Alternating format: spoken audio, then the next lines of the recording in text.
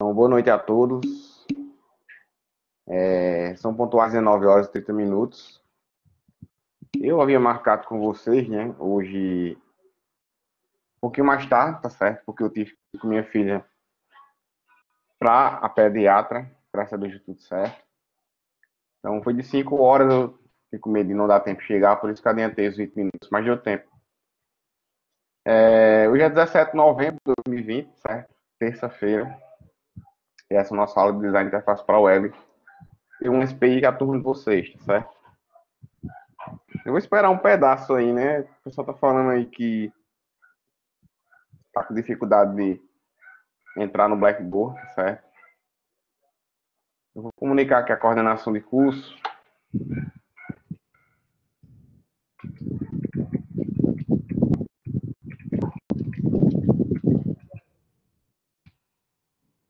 O que, que eles dizem?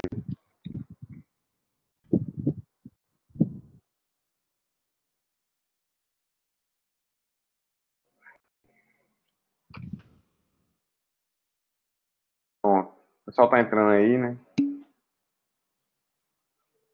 Pois é, né, Samuel?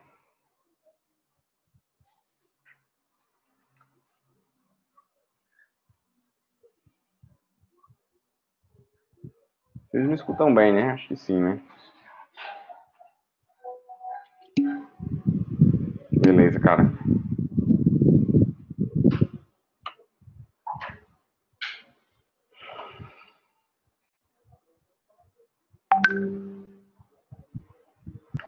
É, o pessoal tá fazendo talento aqui no grupo.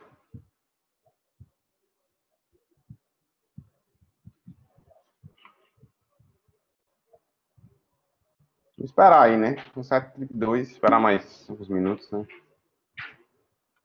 Entendi. Tem vários avisos para dar hoje, certo?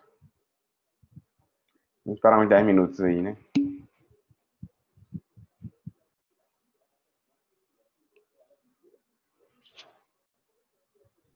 Fala, Vitor. Beleza?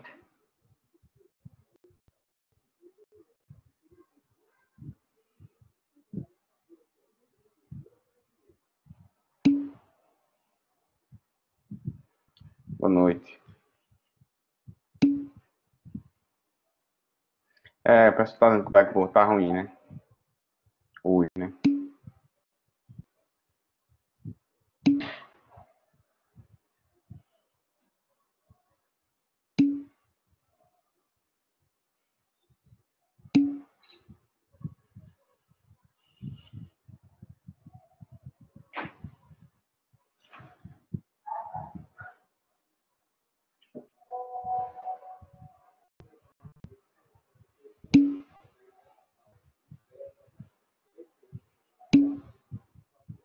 É isso? Verdade.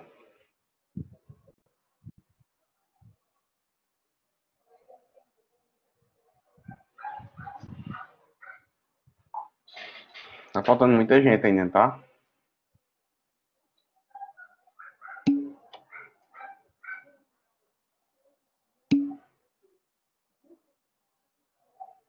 Não muito.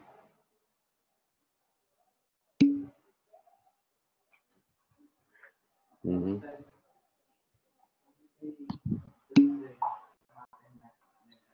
É, é verdade, cara. Oito, nove pessoas, né?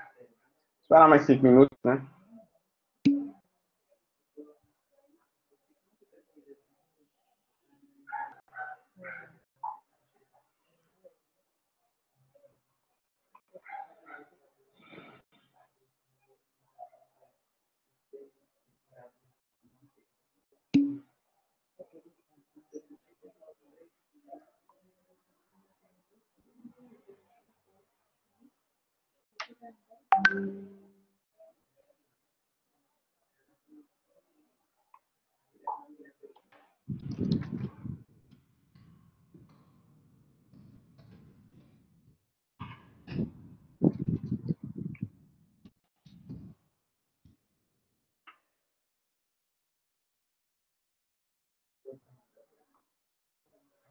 Esperar mais cinco minutos, pessoal, pra gente começar. Não se preocupe que eu vou tirar a diferença desses 20 minutos. Que a gente vem, a gente encerrar 9h40, a gente vai até 10 hoje, certo? Com intervalo normalmente. A diferença é só os 20 minutos de diferença que vocês tiveram.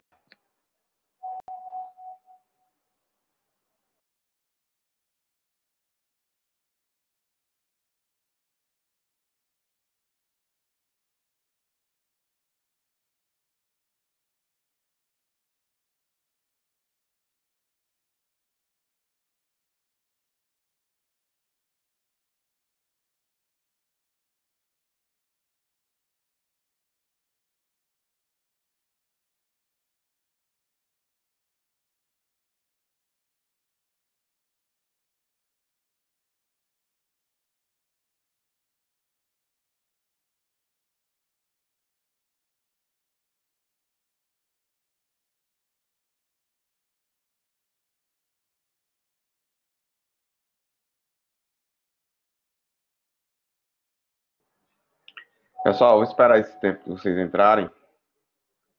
Vou apresentar. Ixi, tá todo mundo caindo, né?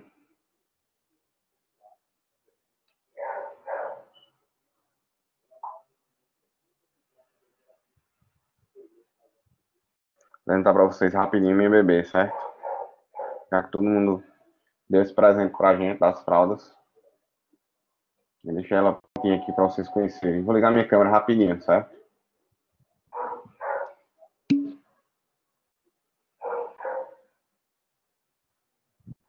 Deixa os demais entrarem aí.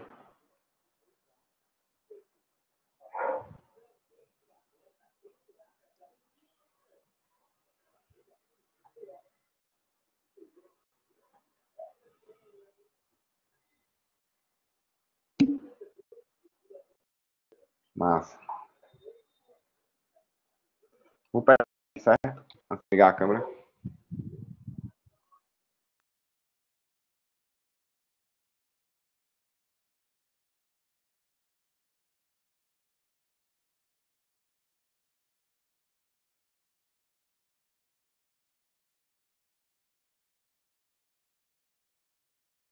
Só um minutinho aqui que eu vou abrir a câmera para vocês verem ela. Eu vou dar os avisos e gente toca a aula, certo? Para não atrasar muito.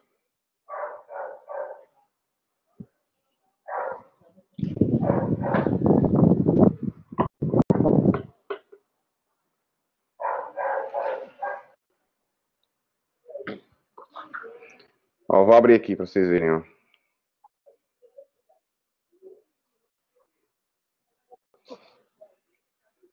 Ó, esse aqui é minha bebê, ó.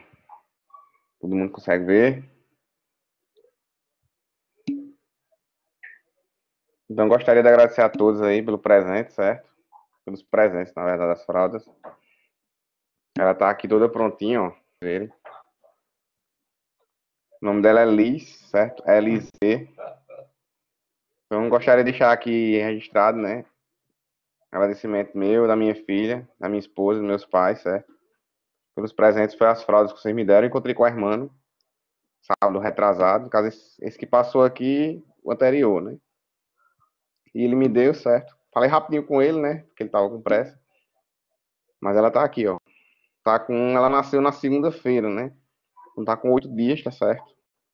A gente foi no pediatra. Agora tá, tudo bem com ela. Ó. Acho que todo mundo vê aí, né? É. Muito linda. Obrigado, obrigado. Certo? Depois eu mostro uma foto melhor para vocês verem aqui. Ela tá dormindo. E manhã vai aqui agora, certo?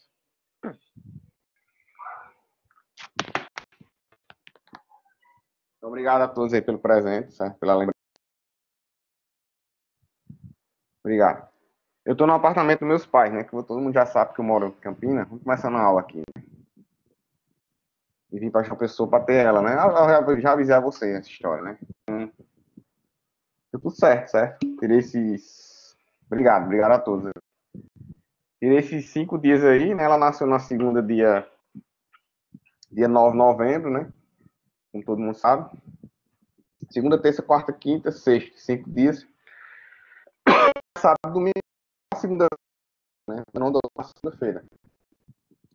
Sete Então, oficialmente, voltei ontem para a de software, certo? E vocês, no caso, é a turma que eu dou na terça. Então, é, conforme eu já tinha falado na semana passada, né? Eu já tinha até combinado com vocês previamente a gente fazer mais para frente algumas aulas de reposição, tá certo? Para que vocês não tenham esse prejuízo, né? Que a gente dessa minha licença serve paternidade, com vocês são a turma de P1. Então, a priori está mantida aquela data que eu falei, né? Do dia 26, na quinta-feira, tá certo? Mas vamos ir validando, vamos fechando isso aí, até que a gente chegue no prazo ideal. É, eu vou abrir, abrir aqui rapidinho o calendário de prova de vocês, para a gente bater um papo bem rápido. Eu estou abrindo ele aqui, para a gente fazer um pequeno aqui, certo?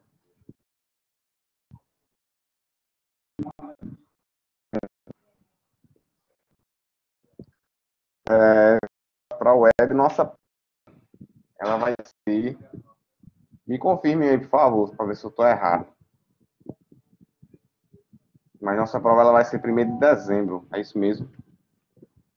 Quem tiver com o calendário fácil aí na mão. Então, se realmente for essa data, dia 1 de dezembro, hoje é 17, né, de novembro, certo?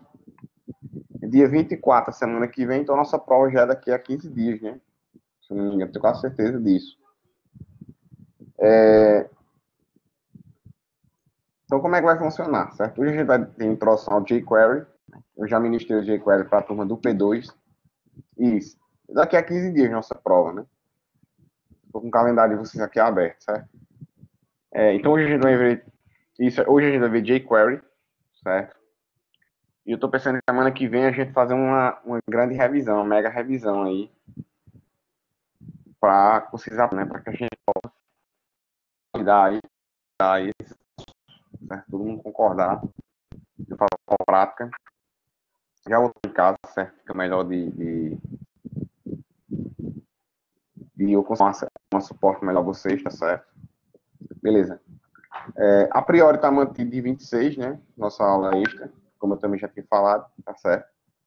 E nossa prova de segundo estágio, ela também vai seguir o mesmo formato é, que a gente no primeiro estágio, tá certo? Fiquem tranquilos, então a prova ela vai ser mais, mais, mais curta, né?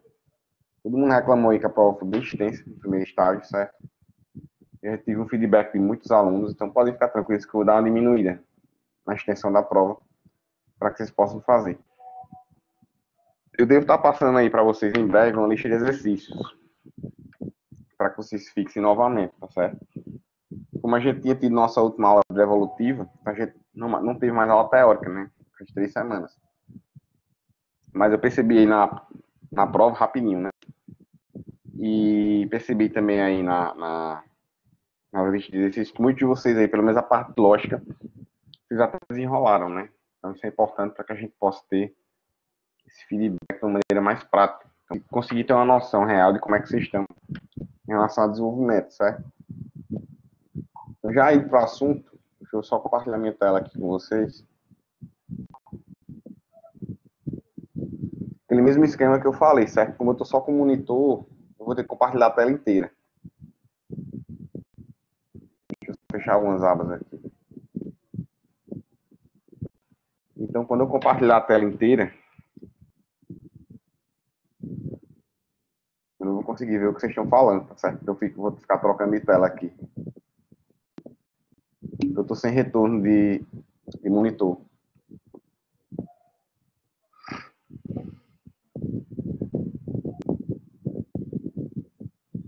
Peço todo mundo aí varinha sobre as Code, certo? Deixa eu compartilhar minha tela aqui. Vê se vocês veem minha tela. E sim, né? Joia. Todo mundo abre o VS Code aí rapidinho, certo? Eu vou trocar de tela.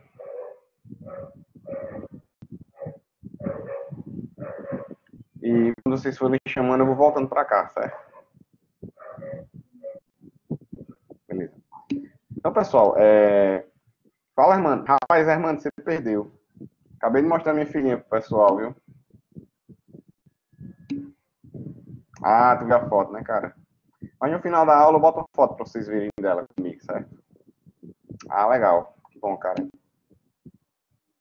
Foi rapidinho, que ela tá no final da aula quando encerrar a gravação. Obrigado, cara. Obrigado aí pelo presente. Obrigado pela atenção, certo? Você ter tido esse trabalho ter vindo aqui deixar. Pena que a gente não pode conversar muito, né? Mas passar aí a pandemia, a gente marca vocês, beleza? Na aula mostra foto. Vamos ver aí. Beleza. Enquanto eu tava falando, o VS Code aí, eu vou ficar trocando as telas, certo? Então, um pouco sobre jQuery, que é o jQuery, né? Joia. jQuery, ele é uma das principais, se não for a principal API do JavaScript, tá certo? Então, a maioria das aplicações que a gente cria hoje, é, aplicações interpretativas, né? Aquelas aplicações que rodam no navegador,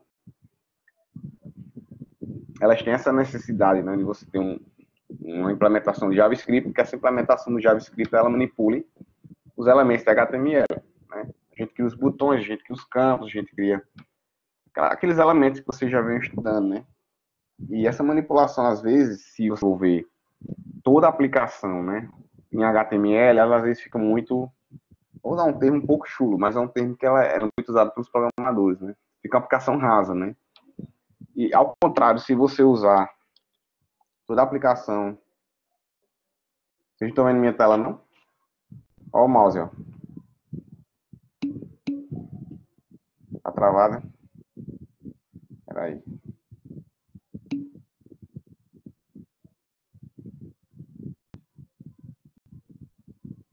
E agora? Acho que agora todo mundo vê, né?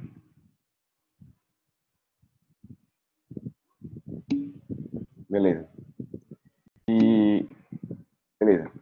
E como eu estava falando, né, então, se a gente usar uma aplicação toda HTML, ela fica um pouco rasa, né? A gente tá achando manutenção, certo? Se a gente usar uma aplicação toda feita em JavaScript, beleza, fica muito pesada. Eu percebi na prova, né, percebi na legítima que alguns de vocês é, responderam, né, fizeram algumas das, das, questões da lista, responderam mais com código JavaScript, outros responderam mais com código HTML, né. E tem gente que, por exemplo, vai emitir um alerta para a tela, emite um alerta em HTML, tem gente que emite um alerta com JavaScript, né.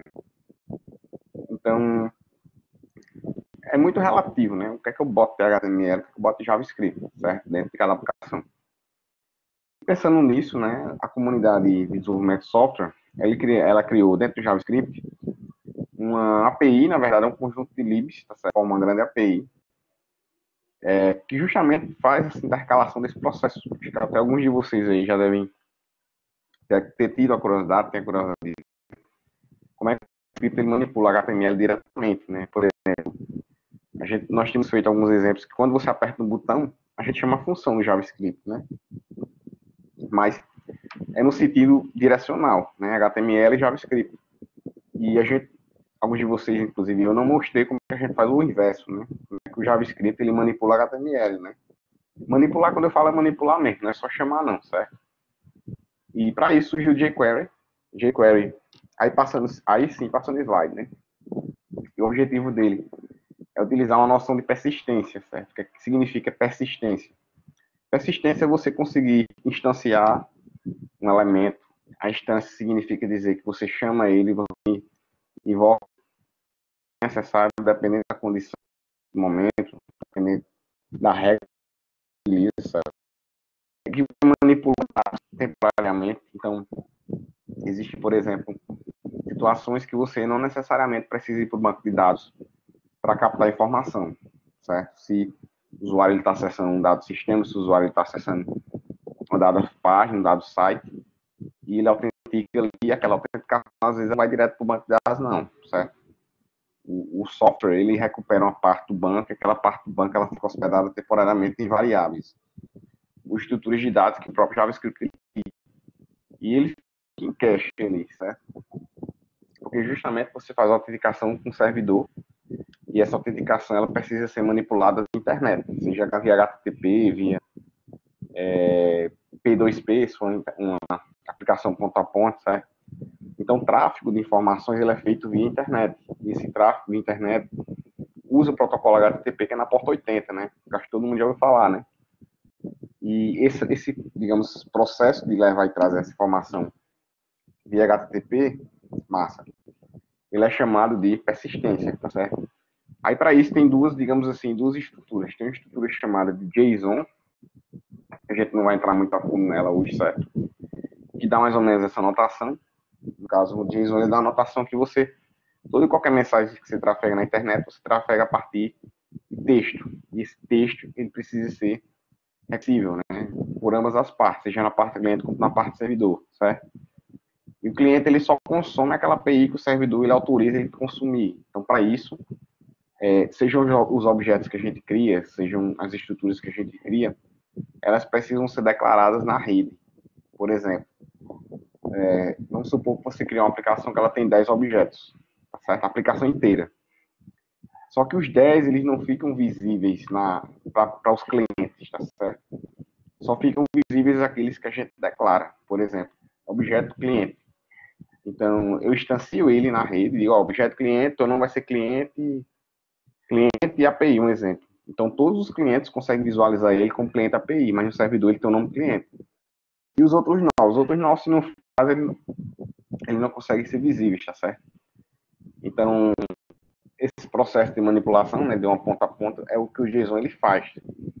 E onde é que entra o jQuery na história? O jQuery entra na história porque justamente a manipulação dos elementos vai depender dessa instância que a gente vai puxar. Que é que vocês vão ver quando a gente começar a implementar agora. Aí eu trouxe o jQuery baseado em duas, duas, é, duas etapas. Uma etapa de sintaxe, que é a sintaxe básica, que a gente define quais são os elementos, tá certo? De declaração, de instância, de recuperação da informação. E os seletores, que são os comandos que a gente seleciona e faz essa integração diretamente com o HTML. Então, o jQuery, digamos assim, o objetivo principal dele, de entrando na aula aí, né? É, junto com o JSON, é possibilitar que justamente a gente consiga fazer esse armazenamento e essa transferência de dados, tá certo?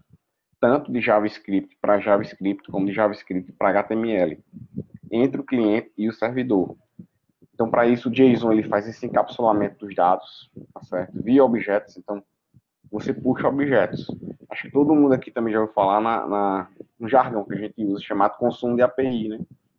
É muito comum hoje em dia você ter um Docker, você ter um container, e a gente escuta muito falar, ó, aquela aplicação ela consome API X, né? Aquela aplicação consome API Y, né? E às vezes na cabeça do programador fica muito, fica muito assim, obscuro, né?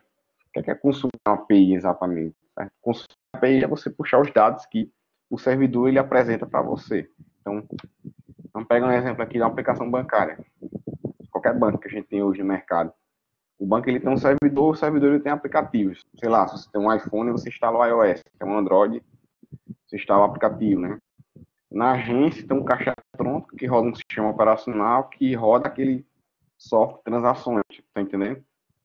Então, para cada, digamos, é dispositivo desse, você tem um aplicativo para aquela plataforma e vai consumir aqueles dados de autenticação, de manipulação de transações que o banco ele autoriza.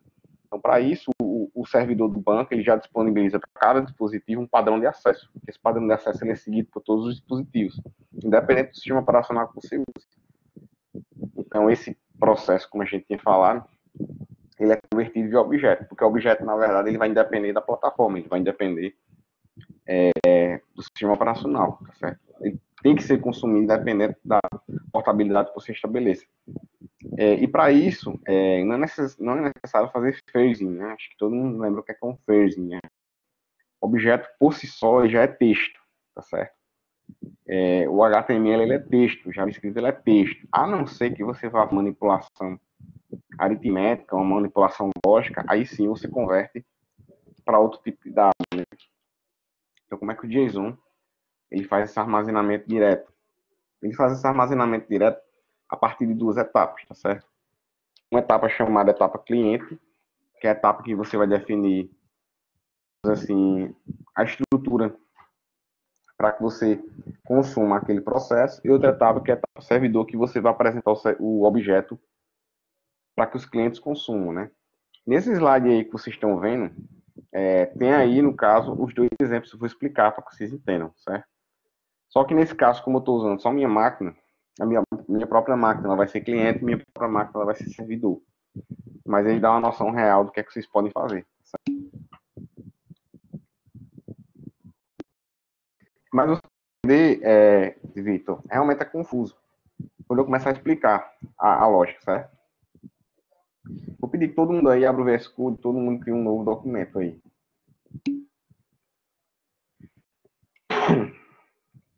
Beleza. Eu vou aqui abrir uma parte, certo? Em mesa eu vou chamar aqui. Na verdade já tem slide 9. Eu vou apagar essa minha parte slide 9 que eu vou criar novamente? Um minuto. Mas vou apagar esses dois exemplos que tem aqui. Vou deixar a parte do jeito que está. Open folder, né? Mesa. Slide 9 abrir, certo?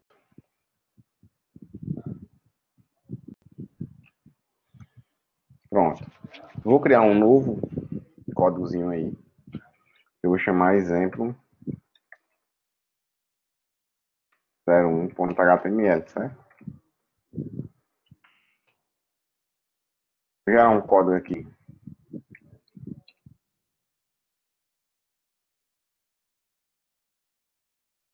HTML5 básico.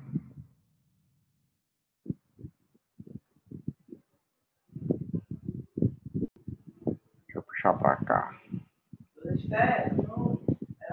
Acordou, pega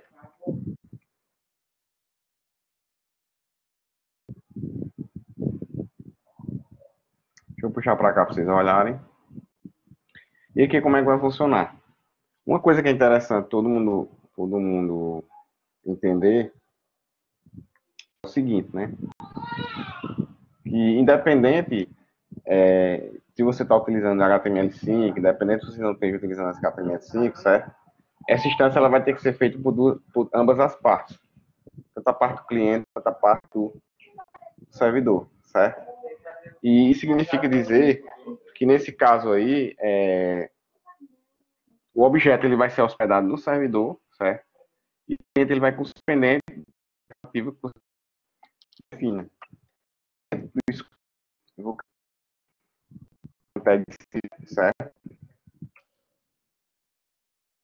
Vou botar ela aqui.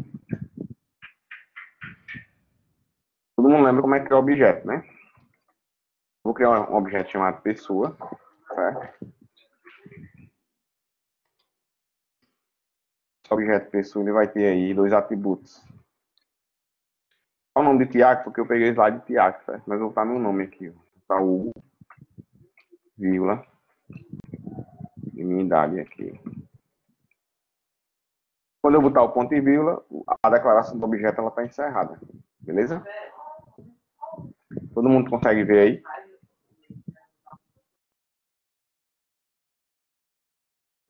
Todos conseguem ver aí? E sim, né? Beleza. Massa. Bom, aí como é que funciona o JSON nessa história, tá certo? É, o lado do servidor, a gente precisa criar um objeto, e esse objeto, ele precisa ser, digamos assim, apresentado para que ele se, possa ser consumido.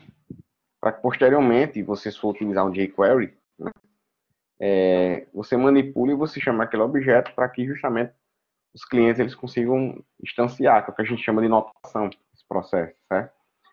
Então, para o lado servidor, eu vou criar um objeto chamado meu JSON, certo? Vá ainda dentro aqui de, de script, lembre-se que aqui é objeto pessoal. Veja que script começa aqui e script termina aqui, certo? E é objeto pessoa. Então, eu vou criar um objeto chamado meu JSON. Ele vai receber aí um tipo JSON. Quando eu botar o tipo JSON, já, o próprio compilador já vai entender que você vai instanciar uma persistência. O que, é que significa essa persistência? A persistência é um objeto que vai ser público para qualquer pessoa visualizar. Certo? Pessoa, quando eu falo, tanto servidores quanto na rede, quanto os protocolos, quanto os clientes, por aí vai, certo? Quando eu boto ponto, ele vai dar para que você faça duas operações que são básicas. O phaser, que é quando eu pego um dado que ele vem do protocolo, né, no caso HTTP, ele pega toda a informação daquele protocolo e converte em texto para que o objeto armazene. Um string file, que na verdade é eu declarar aquele objeto como ele sendo string. Por quê? Porque a gente pode pegar alguns tipos de informação que estão no sistema operacional, que estão na aplicação, que estão na IDE, certo? Que não necessariamente elas sejam texto, mas que posteriormente elas vão precisar ser texto. Uh, por que, é que você fala tanto em texto? Porque todo o tráfego da internet, certo? Ele é texto. Então, quer queira quer não, o reconhecimento, a concatenação, é, autenticação, certo? a integração, o que quer que seja, tem que ser via texto. Por isso que a gente usa essa primitivo chamado stringify, né? Então, eu vou botar aqui o stringify e eu vou tornar o objeto pessoa que eu criei antes, ó. Estou vendo ali pessoa. Estou tornando aí ele toda a informação, no caso nome, os atributos nome e idade, né? Que estão dentro da série, para que eles sejam instanciados como string no objeto meu JSON. Então, qual a sintaxe desse comando aqui? Esse objeto meu JSON, certo? Ele é um novo objeto que ele vai receber todas as informações de pessoas convertidas em string. A partir do encapsulamento que ele vai ser. Acho que ficou claro para todo mundo aí, né? e para que, que faz, se faz isso? Porque podem haver aí padrões de texto, padrões de conversão internacionais que utilizam, sei lá, aspectos diferentes. Você tem a, a tabela ASCII, você tem o TF8, você tem ISO 96000, certo? Você tem os padrões orientais que o pessoal usa, lá do Oriente Médio, que também pega os padrões de texto que são um pouco diferentes, entre outras perspectivas. Como esse é o lado servidor, eu não estou setando nem IP, nem uma URL, é, nenhum tipo de ponto a ponto, né, que é o socket, né? Socket é quando você faz uma ligação ponto a ponto via código. Então, eu vou usar esse armazenamento local. Então, como o próprio nome já fala, eu boto local storage, certo? Quando eu botar o ponto, ele já vai dar algumas opções aí, ó. No caso, eu vou limpar, esse clear aí é para você limpar todas as instâncias que existem. O get item é para você pegar um objeto um, um nome que você criou de um objeto que você já tem, já tem criado anteriormente, e você definir um nome para ele, para que ele possa ser visualizado na rede, tá certo? É, o que, no caso, você pode passar alguma chave para que depois ela possa ser consultada, enfim. Então, o storage, né? É, ele é uma de manipular o objeto dentro do lado do servidor, tá certo? Caso alguém for tendo dúvidas, vocês vão perguntando aí que eu vou troca na tela. Então, não é, não é get item, é set, na verdade, né? E eu estou setando. Botei o set item. E observem aqui, que no slide, eu, eu mudo o nome do objeto. Eu boto teste, JSON. Observe que ele traz em aspas duplas, já certo? Então, o nome que ele vai ser apresentado, ele vai ser publicado no servidor. Então, qualquer cliente vai enxergar teste JSON e não, não pessoa, certo? E não meu JSON, e sim teste JSON. E esse nome ele vai ser atribuído para aquele objeto. O objeto JSON. E esse objeto JSON é uma conversão de string de quem? De pessoa. Tranquilo, pessoal. Todo mundo consegue ver aí essa lógica aí. Todo mundo está escutando o show de Liz aí também? Ou não? Acho que sim, né? Sim, né? Pois é, a bichinha é, né? Porque ela acordou agora aqui, tá tomando uma madeira ali. Mas todo mundo entendeu esse código aqui, né? Do lado servidor, né? Joia, mano, deu certo aí, conseguiu entender direitinho aqui. Guinemberg. Isso, JSON Pessoa, Vitor, perfeitamente. Certo? Vá. Vou fazer assistência, o que é que é novo? você conseguir a transição, né, o tráfego de informação aí pela internet, tá certo? No caso, você vai consumir o JavaScript, o HTML via protocolos, tá certo? Nesse caso aqui, eu estou fazendo essa simulação para que justamente vocês tenham uma visão de como é que esse consumo é feito, para depois a gente fazer uma manipulação, como exemplo. Então, eu criei um objeto pessoa, certo? Aqui está sendo o lado servidor, porque eu estou com a máquina só, não estou fazendo em rede. Se eu quisesse, eu poderia setar aqui, ó, um URL storage, né? Um public storage, ou qualquer outra é, origem, certo? Aqui eu poderia pôr um IP, aqui eu poderia pôr um URL. A gente pode fazer, no segundo momento, outro exemplo. E meu JSON, certo? Que vai ser esse nome desse objeto aqui, ó, vá meu JSON, certo? Outro objeto. Ele recebe aí a conversão dos dados de pessoa para string, ó, JSON.stringify pessoa, certo? Então, meu JSON, ele é objeto pessoa, só que convertido como eu tráfego via jQuery, via JSON, via HTTP, né? Para JavaScript, como é no navegador, o navegador usa HTML, usa HTTP, tem que ser texto, certo? E aqui eu estou apresentando ele para o servidor, local storage, certo? set item, ou seja, armazenamento local, estou setando um novo item, teste de JSON, tá certo? Encapsulado, então, isso aqui já é um encapsulamento. Vocês prestaram atenção? Esse carinha aqui, na verdade, é quem? É esse, ó. Vocês conseguem ver isso aí, né? Só que a diferença é que você tem um nome diferente, né? Já vai. Calma, calma, que acho que é o Blackboard, aqui tá com 120 MB.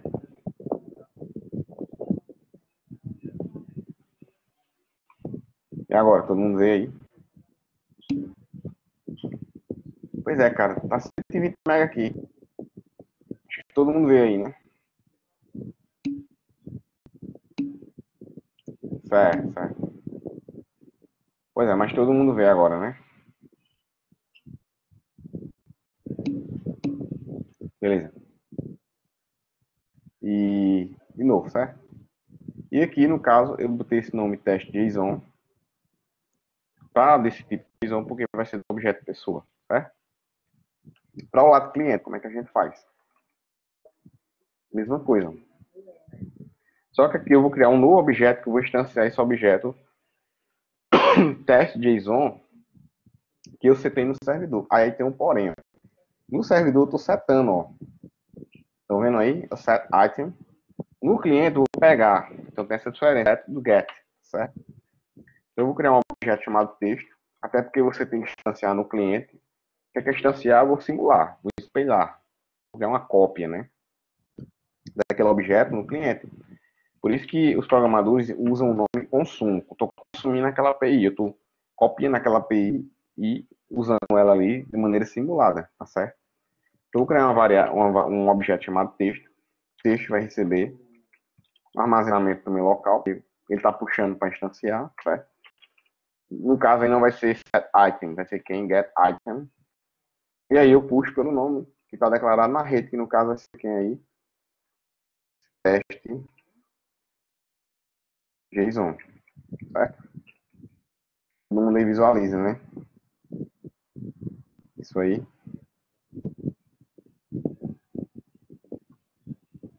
Beleza? Aqui vou criar um outro objeto. Aqui ele puxou, né? Só que ainda tá. Só que eu vou ter que desconverter da texto, para ter de texto de HTTP para passar para string para ser manipulado. Então, vou fazer o processo inverso do string file, vou fazer o phase, né? O phase ele é o processo inverso do string file, porque string file converte para texto para que o protocolo ele faça essa transição. E o phase faz a descriptografia, né? Não seria nem descriptografia, descriptografia não, é, necessariamente seria isso. Mas a desconversão de texto de HTTP, no caso protocolo, para texto string de manipulação da aplicação, certo? Vou criar uma, um novo objeto chamado objeto chamado objeto, né? Vem aqui. Recebe JSON. Ponto. Aqui eu uso Fusion. O processo inverso de stringify, né? Agora eu boto quem aqui? Texto, certo? Porque o texto, ele é get item de quem? De teste JSON. Para que efeito? Então, encapsulamento. Certo? Você vai, converte, seta na internet.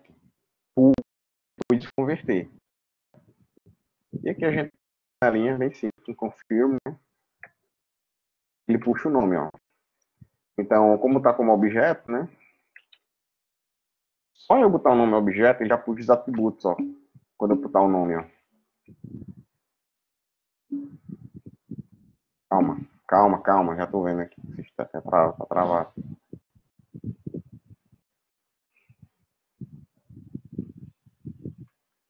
E agora, destravou? Beleza. Então, só eu botar o objeto, o firma aqui, botar o objeto, já puxa os atributos, ó. Tá vendo aí? Idade, né? Nome, enfim. No nosso exemplo aqui, eu boto o nome, né? Objeto.nome.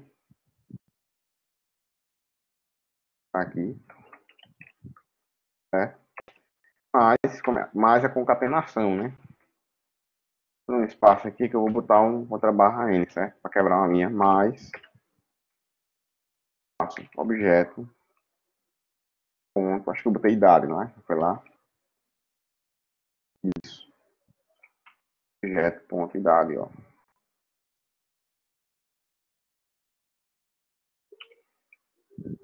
Tranquilo, pessoal.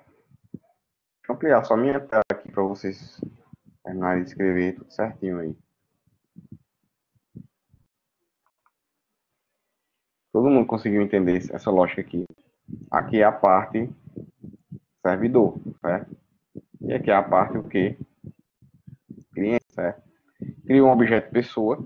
Esse objeto pessoa é dependente desses dois códigos, tá certo? Só que aqui eu vou setá-lo como string para que ele possa ser encapsulado em protocolo de rede para qualquer navegador, certo? Geralmente o jQuery, no caso, quando ele consome do JSON, é porque independente do navegador do sistema operacional, ele vai ter que consumir daquela forma.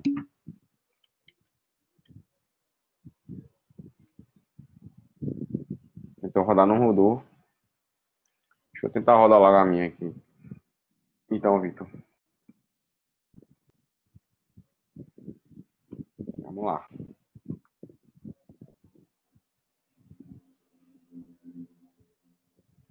Deixa eu ver se não estou esquecendo de nada aqui.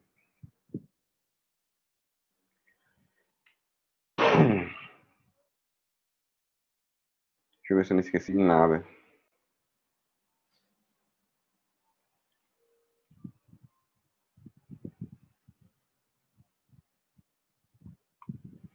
Vamos ver aí, certo? bar script, né? A pessoa, meu, JSON, string file.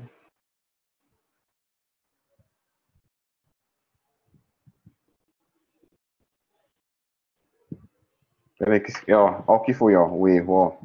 Ó o nome do objeto, ó.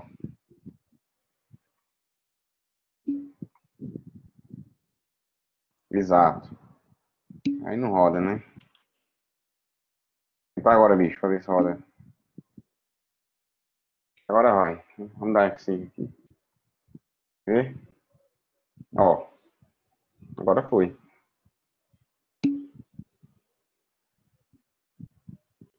Não, normal aqui. Vocês travaram a imagem de vocês? Todo mundo vê minha tela, ó, o mouse mexendo.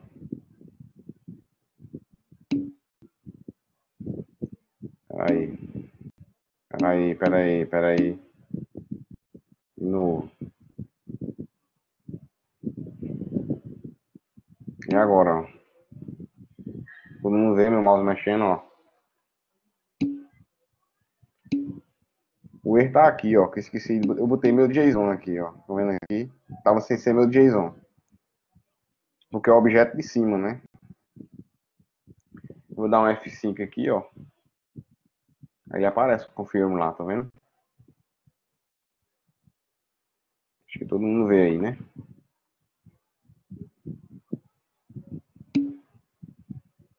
Exatamente, tava puxando o JSON no objeto. Muito bem, Vitor. Exatamente isso, é. Exatamente, cara. Perfeito. É como se estivesse puxando um material dentro de um pote e tava fechado. Exatamente isso. E mais uma vez, né? Então aqui ele set string file seta para apresentar, então ele consome esse objeto, ó. Estão vendo aqui? É tanto que do lado do cliente, ó, ele pega quem, ó? Estão vendo aqui? Ele pega o teste JSON. Uh, para que a gente faz isso? Por segurança, questão de segurança de software. Capsulamento, é, tanto para JSON quanto para jQuery, é uma forma da gente criptografar a aplicação para evitar hackers e evitar invasões, entendeu? Então na verdade, não é, uma é criptografia, é uma estratégia.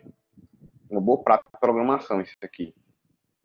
Então, no lado servidor, eu faço set item, e no lado cliente, eu faço get item, certo? O objeto pessoa, ele está encapsulado como teste JSON. Ele vai com string file para que ele possa converter as strings do objeto para texto dentro do protocolo, certo? É, e aqui ele faz o processo inverso, ó. ele faz um phasing, né? Ele pega o que vem de texto do protocolo e converte para objeto, para que o objeto pegue o string. Por que, que ele faz isso? Porque esse phaser, ele vai converter para esse padrão que está aqui, ó. Que é o encoding. Vocês estão vendo aí minha tela, né? Meu mouse onde é que tá? Eu estou com o TF8, ó. Estão vendo aqui? Uh, se tiver aqui ISO 96 mil, então ele converte automaticamente para ISO 96 mil. Acho que ficou claro para todo mundo aí, né? Alguém quer, não conseguiu rodar? Alguém está com alguma dúvida em relação a isso aí? Alguém tem alguma pergunta? Quem mais aí? Hermano, Rodolfo, Fabrício? Elaine, Rodolfo, Priscila, Vitor, Vicente, Pedro. Tudo certinho, né? Joia, show de bola. Massa, cara, show de bola. Pronto, então quando a gente faz o jQuery, certo? Deixa eu só mudar aqui. É, a JSON, ele é uma persistência que a gente vai usar para qualquer, a, todas as partes da aplicação. Então, o jQuery, ele faz essa mesma sintaxe, só que a diferença é que ele faz a parte que vem aqui, antes daqui, ó. Então, sempre a gente implementa isso aqui quando a gente define toda a estrutura de jQuery, certo? Nesse caso aqui, o jQuery ele tem uma estrutura que é um pouco diferente, porque ele, o objetivo principal dele não é estabelecer que o código ele fique legível, né, para que o programador, qualquer pessoa que tiver acesso à aplicação, implemente de maneira direta. Pelo contrário, é tornar a aplicação mais simples, tá certo? No sentido de que você vai manipular ou resumir, enxugar código comparado aí outras tecnologias, comparado a outras aplicações que a gente tem no nosso dia a dia, certo? É, eu queria falar ainda agora a questão da portabilidade, né? Independente do navegador que você use, certo? Independente do sistema operacional, ele vai ter que rodar o mesmo código do mesmo jeito, que é algo que não é muito comum hoje para aplicações mais antigas, né? Não sei se alguém é gente num sistema de algum, de algum site, de alguma empresa, de uma universidade, e se você acessar pelo celular, ele fica tudo desconfigurado, né? Você tem que dar zoom na tela, diminuir a tela, né? Porque justamente não há um controle de notação para o software. Então, ele distancia de acordo com o padrão do navegador, e não de acordo com o padrão de persistência que você estabelece, entendeu? Então, hoje está em desuso. A gente não desenvolve mais aplicação nessa, dessa forma aí. E outra coisa também é para que a gente enxugue código-fonte, certo? Então, a gente consegue realizar muitas tarefas de maneira mais simples, né? A manipulação do código também de maneira mais simples, comparado, por exemplo, a linguagem que você faz tudo, digamos assim, a grosso modo, certo? Sem encapsulamento, sem nenhuma dessas abordagens aí. Então, tem alguns recursos que é, jQuery auxilia para o JavaScript nessa visão da manipulação do texto, né? Primeiro, a manipulação do HTML, eu já tinha falado, né? A manipulação do CSS, tá certo? Suponho, eu vou dar um exemplo bem simples. Exemplo simplesmente, para todo mundo entenda. É, o que, é que seria essa manipulação aqui? Vamos supor que você tem um sistema. Certo? Esse sistema ele vai ter usuários. E esses usuários vão ter permissões. Então, vamos supor que você tem um usuário admin. O usuário admin é aquele cara, quando ele loga, ele tem acesso a todos os botões de aplicação. Certo? E vamos supor que esse usuário admin ele tem acesso a 10 botões, que são 10, 10 features, né? 10 funcionalidades. Então, quando o admin ele loga, certo? Naturalmente, o sistema ele vai dar acesso a tudo, então todos os botões ficam visíveis, um exemplo. Mas vamos supor que você tem um segundo usuário, que é um usuário aí, um usuário nível 1, certo? Que o cara só tem acesso ao, ao básico. Então, mesmo que os botões estejam todos instanciados, estejam todos acessíveis, quando esse usuário nível 1 ele logar na aplicação, ele não, não vai poder ter acesso aos botões. O que, é que a gente faz? É muito simples. Todos os demais, as demais features, você cria lá certo? Como se fosse um grupo de regras, que você deixa os botões invisíveis. Você está entendendo? Então, tipo assim, eu criar para cada usuário quais são as, os objetos que ele acessa. Eu consigo criar para cada usuário quais são os elementos HTML que ele pode ou não visualizar, quais são as regras que ele pode acessar. Então, toda essa manipulação de interface, tá certo? Para que você não crie o replique, o, o copie códigos para cada. Ah, vou criar cinco usuários. Para que para cada usuário eu vou fazer separadamente o mesmo código. Então vou fazer um código diferente. Não, você faz o mesmo código ali, certo? E dentro do infiel, muito simples, você consegue deixar visible, unvisible, certo? É, visible.true, visible.false. Então vai depender da sintaxe que você adote, certo? E esses elementos eles podem ser manipulados, né? Efeitos de animações, né? e por aí vai. Então, por que, que a gente aprende Porque não muitos é, as grandes empresas do mundo usam jQuery nos seus sistemas, tá certo? Google, Microsoft, IBM, Netflix, porque justamente possibilita que os softwares, né, eles adaptem aos dispositivos dos usuários, né? Não, não é que o visual seja defasado, Vitor. É... Ele hoje está como se fosse ele está muito restrito, certo? A uma API apenas de integração, cara, sendo bem sincero. Não sei nem se devia estar falando isso. Mas, assim, ele, o próprio jQuery substituiu esse JSON, entendeu? Porque o JSON, ele deixava a aplicação muito pesada. Porque é JavaScript na veia, né? JSON é JavaScript. Se você implementar uma aplicação toda de JSON, pode preparar a memória para o seu computador, viu? Porque quando você consumir via navegador só no Chrome, o cara tá lascado, tem que botar 8 GB de RAM só pro Chrome. E para evitar essa aplicação ela ficar muito pesada, né? A pessoa justamente não é que migrou, né? A pessoa estendeu o jQuery, tá entendendo? Porque justamente eu não vou manipular apenas JavaScript. Vou, o JavaScript, o código que eu falo no JavaScript, é, ele vai manipular HTML, porque o HTML é mais leve. Então até o tráfego é mais rápido, né? Mas no final, JavaScript e HTML não virar string, não vai virar texto, para ir para o protocolo HTTP, vai. Certo? No, no tráfego da rede via porta 80 HTTP, tudo é texto. Mas quando chega na tua máquina, cara, é diferente, porque o JavaScript ele vai consumir a partir de uma JVM via navegador, vamos falar assim, né? E o HTML não. O HTML ele é, ele é decodificado via HTTP na aplicação, então é muito rápido. Né? É, é como eu estou falando, a estratégia de consumo de memória, estratégia de tráfego, internet, estratégia de velocidade e desempenho também. Por isso que o pessoal fez essa, essa abordagem aí. Vocês vão entender agora. Então, como é que a gente adiciona jQuery nas páginas web da gente, né? Existem duas formas básicas para que a gente possa fazer, tá certo? A primeira delas é baixando a biblioteca jQuery em jQuery.com, certo? Então, Existe o instalador do jQuery, que você instala o jQuery e ele vai lá reconhecer todas as libs do jQuery naturalmente. E existe o jQuery a partir de um CDN. O que é CDN? CDN é uma rede de fornecimento de conteúdo. Ou seja, são todas as instâncias, todos os elementos, todas as partes visuais né, de interface que é, as grandes empresas elas disponibilizam. Não entendi aí, Fabrício botou um ponto aí. Beleza, só um minuto. Mas vocês me escutam. Acho que todo mundo me escuta. Então, como eu estava falando, certo? A gente pode utilizar, instalar o jQuery, baixando na biblioteca jQuery.com. Beleza.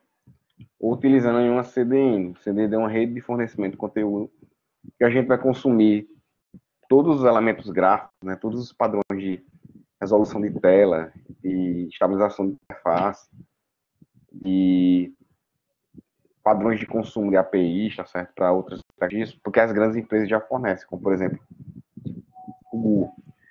vou abrir aqui meu navegador mostrar vocês aqui o site jquery.com. Essa aí que todo mundo entra aí no seu Observe aí que ele tem a versão de download, ó, que ele faz aqui, certo? Se vocês clicarem aqui, ele vai fazer o download. No meu caso aqui, faz porque é Mac. O Windows ele instalação automaticamente, certo? Vou traduzir aqui rapidinho para vocês verem. Ó.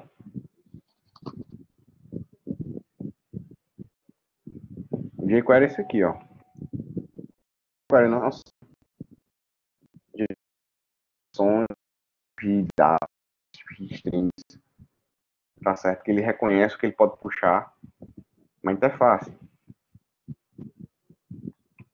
Observe aqui que ele aparece até aqui, ó. Tá vendo aqui? Ou vocês podem referenciar o CDN, né? Deixa eu ver se eu, se eu consigo pegar um link CDN aqui para vocês. Aqui é o site do jQuery, ó. Vocês estão vendo aqui. Deixa eu só abrir o Google aqui. Acho que se eu botar o do Google, jQuery, CDN Google.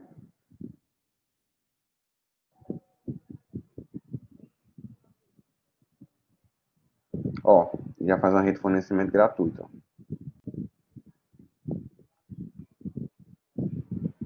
Deixa eu ver se eu consigo o link aqui para mostrar a vocês.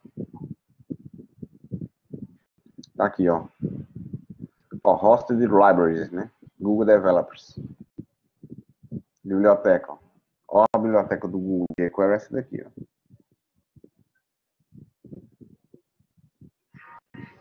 Deixa eu colar aqui, porque a gente pode testar essa em vez de a gente instalar, certo?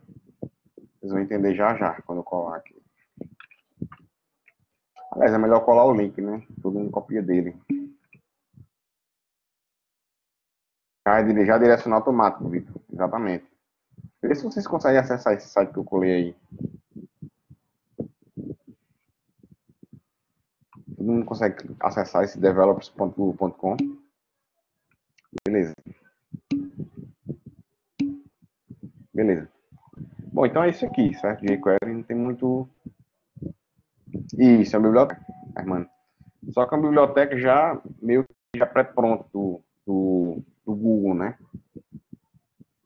Ó, a biblioteca do padrão, tem a biblioteca do Ajax também, certo? Tem a biblioteca do, J, do D3.js. São várias APIs, várias libs de JavaScript. vocês podem puxar diretamente. Agora sim, cá entre a gente, certo, pessoal? Tem que ter cuidado com essas URLs aqui. Por quê? Porque se mudar essa versão aqui, ó, aqui está 1.4.5. Se você implantar um sistema, implementar um sistema e puxar isso aqui como, a, a, como link, se o fornecedor, no caso o CDN, né, mudar a versão, você já perde a funcionalidade que todo mundo entendeu aí, né? Então já, a lib já deixa de puxar automaticamente, já deixa de distanciar. Entenderam? Então, por exemplo, posso puxar um, um conjunto de libs de CSS, ó. Aqui é para mobile, ó, né? jQuery mobile, ó.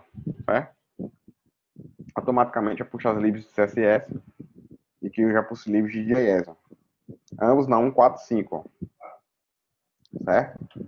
Então vai variar de acordo com cada tipo de instância a gente vai fazer o seguinte, como eu comecei a aula 20, 20 25 minutos depois, geralmente a gente faz nossa pausa aí 8h25, 8h30, vou deixar para fazer hoje 8h50, certo? Que é justamente os 20 minutos de diferença. Então dá para a gente fazer aí pelo menos os dois primeiros exemplos de jQuery para poder fazer inter, intervalo de vocês.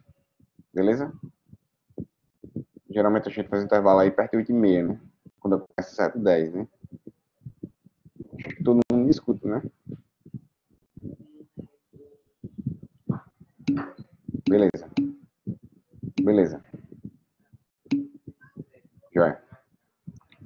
Tranquilo? Então são libraries, né? Google Libraries para que a gente possa puxar. Então, baixando o jQuery, né? Existem duas versões, inclusive essa que está no slide está desatualizada, tá certo? A mais atualizada é essa daqui que está... Essa daqui, ó. Então, quando vocês forem puxar agora, vocês podem puxar dessa daqui, se não quiser instalar, certo? É, são arquivos JavaScript simples, é, referenciados na tag script, né? E aí tem um porém, o jQuery, como ele é uma API que você instancia, que você puxa, tem que ficar dentro do cabeçalho, ó. Cuidado, pelo amor de Deus. que é questão de prova, certo? Não é dentro do script, dentro do escopo. Não é aqui. Aqui é script, ó, dentro do body, ó. Tô vendo o body aqui. Quando a gente puxa uma instância de jQuery de um CDN, ele fica aqui, ó. Ou aqui abaixo do ou abaixo do title. Porque tem que estar dentro do cabeçalho. Você está puxando as APIs. Quando você puxa daí, aí sim ele vai reconhecer aqui embaixo. Tranquilo? E fica no head, fica assim. Para o nosso primeiro exemplo. Né? Nesse exemplo, considero que o script se encontra no mesmo diretório da página. É quando você faz o download, né? Como eu cliquei aqui, ó. Aí de outra coisa, por exemplo. Se eu clicar aqui, ó. Deixa eu tentar acessar aqui para mostrar para vocês. E quiser usar assim, ó, vai aparecer isso aqui, né? Deixa eu ver como é que eu salvo isso aqui. E disse que eu lembro como é que salvo no, no Chrome.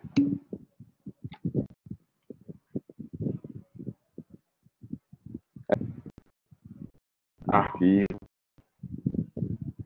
Salvar a página com. Olha, já, já já dá o nome .js, né? Vou salvar aqui dentro da minha pastinha, certo? jquery.min .js, certo? Eu fiz o download aqui, ó. Aqui eu vou voltar. E aqui, ó, script source jquery.min.js.script. Se eu não quiser pôr referência no meu index, eu puxo o link diretamente assim, ó. Que todo mundo vê aí, né? Aqui é quando eu faço via pasta local, tá certo? Eu faço o download que não acabei de, falar, fazer. Entro no, no, CDN e faço download normalmente. E aqui é quando eu puxo via URL, ó. Vendo aqui que tá o HTTP, ó.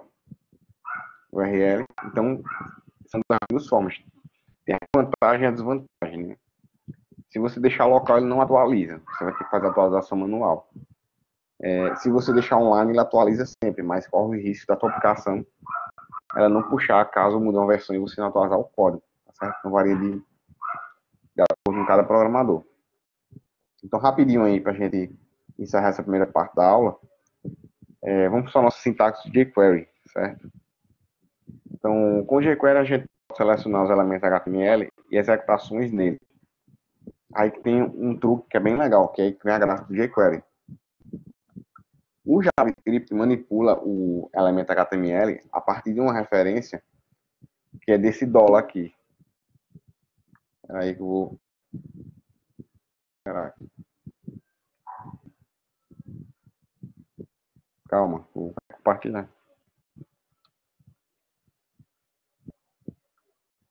E aí, voltou a tela? E sim, né? Beleza. Então, como eu estava falando, certo? O jQuery tem uma estratégia que ele manipula HTML a partir desse cifrão aqui, né? Não é nem só o cifrão. Esse cifrão ele é o seletor da ação que você faz com o elemento do HTML. O que é que significa isso? Né? Lembre-se, quando a gente bota um objeto aqui, ó, JavaScript, sei lá, é, Vou pegar esse exemplo aqui, certo? Vou botar o objeto ponto. Observe que vai aparecer vários comportamentos, concordam? Ó? Todo mundo vê, né? Tanto os atributos quanto os comportamentos que o objeto pode desenvolver, certo? No HTML isso não existe. Não sei se vocês lembram, né? Porque HTML ele não é linguagem de programação. Ele é linguagem de marcação, certo? Só que com o jQuery, o jQuery é garante que você declarando aquele elemento .html, aquele elemento .html, agora ele absorve comportamentos. Então, é uma diferença muito gritante, né? Você manipular o elemento HTML no braço mesmo, certo? Sim, enfim, criando ou apagando via JavaScript ou comportamentos. Quando a gente fizer o primeiro exemplo, né? Então, a sintaxe é só certo? É cifrão, pontuação do elemento. Esse seletor, no caso, é seu elemento que você vai definir, certo? Então, ele acessa o jQuery, ele identifica o elemento que vai ser manipulado e a ação que você vai executar naquele elemento que vai ser JavaScript. Então, aqui a gente tem alguns exemplos ó, de comportamentos que cada elemento da HTML desenvolve, certo? Por exemplo, se eu botar aqui o cifrão aqui, e o elemento ele vai ser o Pzinho. Todo mundo lembra o que, é que significa esse P aqui? Esse elemento HTML-P, ele é um elemento parágrafo, né? Então, ó, para o elemento P, é esse parágrafo, tá certo? Ponto hide. Hide significa, significa esconder em inglês, né? Então, esconde o elemento P. Então, simplesmente ele desaparece, ele fica escondido, né? Esse ponto teste é quando você estabelece uma classe para vários elementos. Então, todos os elementos que tem aquela classe, eles vão se esconder. Por exemplo, se eu criar um P e dentro da, da criação do P,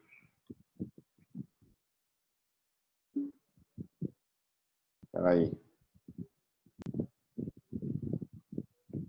Calma.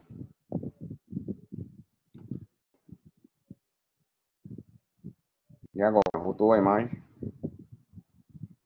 E sim, né? Beleza. Acho que todo mundo aí agora vê minha. Vê meu slide, né? Ó. Beleza. Então, novamente, certo? Pois é, Samuel. O Blackboard hoje tá difícil, né? Então, o seletorzinho, ó, o cifrão, certo? O P vai ser de parágrafo, né? E observa aqui que eu botei um ponto hide, ou seja, ele esconde, né? O ponto teste vai ser a classe, então todos os elementos HTML que tiverem classe recebe teste, automaticamente você, aliás, automaticamente vão resolver desempenhar esse comportamento, certo? É, e aqui é com o ID teste, né? Então aqui todo, todo mundo que tiver o ID, na verdade só o que tiver o ID teste, o ID tem que ser igual, né? Ele vai esconder. Então, acho que todo mundo entendeu a lógica de jQuery aí, né? O HTML não tem comportamentos. Mas quando eu puxo as libs, esses libs possibilitam que a gente atribua comportamentos para os elementos, naturalmente meio que induz o elemento, ele, digamos assim, ele ser manipulado de acordo com o tipo de ação que você implementa no JavaScript. Vocês não sabem como isso aqui é uma mão na roda. Então vamos ver aí o nosso primeiro exemplo, né? No caso, o event ready para o seletor document. Vocês vão entender agora, certo? Então, o event reader, ready, né? É, ele é associado ao seletor document, evita que o código query seja executado antes do carregamento do documento HTML. O que é que significa dizer? Sempre que a gente abrir uma página ou carregar uma página, o cabeçalho é o primeiro elemento que vai ser lido, certo? Então, para que, digamos assim, quando você carregar a página, o código já não seja executado automaticamente, o jQuery ele tem uma estratégia que é a seguinte: eu crio todos os elementos dentro dessa primitiva aqui, certo? no caso desse seletor aqui. E esse seletor precisa sim, viu? precisa sim. E esse seletor, eu vou passar como parâmetro o document. Por quê? Porque o document é o documento ponto tudo. O documento como tudo é que vai garantir que esse acesso ele seja feito. Então, o ponto read e esse function é uma função que você instancia o documento. Exato, perfeito, velho, perfeito. Só que aí no PHP vocês criam uma var. Aqui a gente cria uma instância que é diferente. É, cuidado. Aqui é instância, lá é variável, certo? Por quê? Porque aqui você não vai é, instanciar, aliás, você não vai executar, você vai instanciar. Então, a instância, você puxar a persistência via o, o CDN, que você puxou lá do Google, qualquer outra aplicação, ou via próprio jQuery, que você fez o download lá, do jQuery.com, para que você puxe para a sua aplicação também. Tá certo? Aí, naturalmente, tem as vantagens e tem as vantagens. Né? A vantagem é que, na verdade, você vai ter todo o controle em um bloco de código, tá certo? E as vantagens é que qualquer errinho que você estabelecer de escrita, de digitação, ele anula o método. Então, é muito comum, às vezes, alguém botar um P maiúsculo, outra pessoa botar um P minúsculo, o programador usa P minúsculo, outro programador usa P maiúsculo. O mas programador não usa P maiúsculo, mas tem gente que usa, certo? Qualquer erro mínimo de string, de caractere, vai empacar aí tua aplicação e vocês não vão conseguir rodar, certo? É, existe a forma suprimida que é essa esse seletor function, tá certo? Eu não gosto, eu sempre uso desse aqui para memorizar, então recomendo que todo mundo use desse aqui também para memorizar, porque a gente está passando como parâmetro não o elemento, mas o documento. Então ele vai ler o documento inteiro, certo? Então se a gente passar assim, a gente às vezes não se lembra, né? A gente tá, às vezes está associando apenas os métodos que estão dentro dessa função. E aqui não, a gente está passando como seletor o documento completo. Então todo mundo que tiver um documento que for HTML naturalmente vai poder receber qualquer tipo de comportamento que você estabeleça a partir daquela manipulação. Tá certo? Então vamos lá fazer o primeiro exemplo de jQuery. Seletores, tá certo? Então, eles permitem a manipulação dos elementos, como eu também já tenho falado, certo? A partir de informações simples. Então, o seletor geralmente ele usa essas informações aqui, ele usa o nome do elemento, ele usa o ID, usa o class, o type e outros atributos que você estabeleça. Mas em tese, geralmente o pessoal usa esses dois aqui, ó. Certo? Por quê? Porque você pode ter elementos que têm o mesmo nome, mas você não tem elementos que têm o mesmo ID. Então, ou às vezes os elementos eles precisam ser enxutos para que você não escreva ou reescreva o código em demasia. Por exemplo, aquele exemplo do administrador, né? Que o cara loga. Vamos supor que tem 10 botões lá, e o usuário nível 1 ele não tem acesso a 9. Você não vai botar é, todos os botões ponto .hide de cada usuário diferente que você criar, não. Todo mundo entra na classe, na classe, aquele tipo de usuário. Então, quem tiver o class, o botão que tiver o class, automaticamente vai ficar ponto .hide, certo? Então, o seletor ele é baseado no CSS, certo? Cuidado, porque uma sintaxe de criação, uma sintaxe de instância. O PHP usa criação e o JavaScript usa instância, que todo mundo aí vai ficar tentando associar a sintaxe do PHP, certo? E o seletor ele começa como sucessão, como eu também já tinha falado. Daqui já tem o nosso primeiro exemplo. Então vou aqui abrir meu VS Code. Se a tela travar, se chame que eu volto para a tela, certo? Recomendo que todo mundo faça a mesma coisa aí. Vou aqui criar, ó, ver que já reconheceu, ó. Só porque eu puxei, tá vendo? Eu botei o, o jQuery.me JS que eu que eu, na, na mesma parte, né? Só que aqui está a versão 3.3.1. Nesse caso aqui, eu vou ter que puxar a versão 3.5.1. Tá vendo que já está diferente do slide? Vou criar aqui um exemplo. 2.html, certo? Então, H aqui. L5. Aqui dentro do cabeçalho, ó está aqui acima do title, né? Um padrão que a gente sempre usa. Eu vou testar esse meu local aqui, certo? Então, eu vou criar um script. Source, que é a fonte, né? Recebe. Ele já puxa.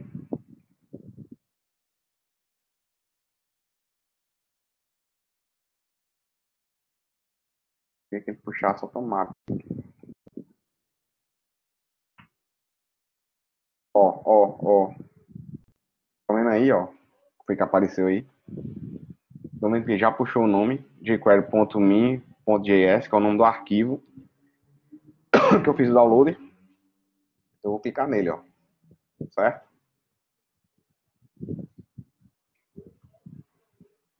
Fecho aqui.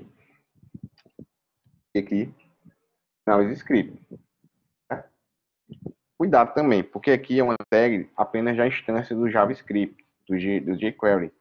Eu não vou implementar aqui dentro. Você pode até implementar, caso você é mais interessante, que a gente crie outra, outra tag para implementar. Por quê? Porque o HTML ele vai vir diferente. Ó. O jQuery, geralmente, ele é implementado dentro do cabeçalho. Certo? Assim como muita gente implementa. O HTML não. O HTML vem dentro do body que é uma segunda etapa que a gente vai fazer, certo? Então tem essa diferença aí. Eu vou criar aqui um novo ainda dentro do cabeçalho, certo? E vou criar o que eu citei lá. Certo? Bota o seletor aí, ele já reconhece. Bota parênteses, né? Ó. Tô vendo aí o que aparece na minha tela, ó. O que aparece na minha tela aí? Esse nominho aí, ó. jQuery. Estão vendo aí? Por quê? Porque já reconheceu a sintaxe que eu puxei, da minha pasta, né?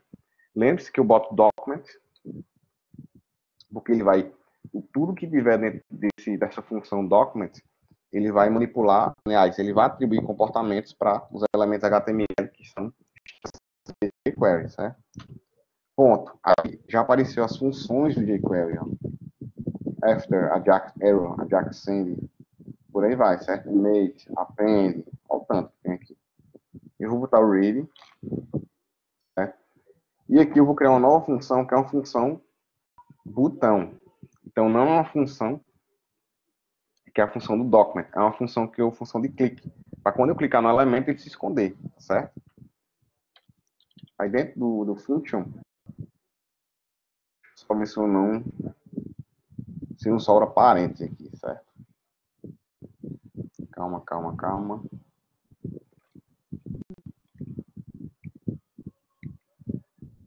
Para ficar mais fácil. Aí pronto, certo? Read.function. Aí eu vou fazer aqui com o botão, né? Vou criar aqui um seletor para botão. Botão não criei ainda. Botão eu vou criar aqui, ó.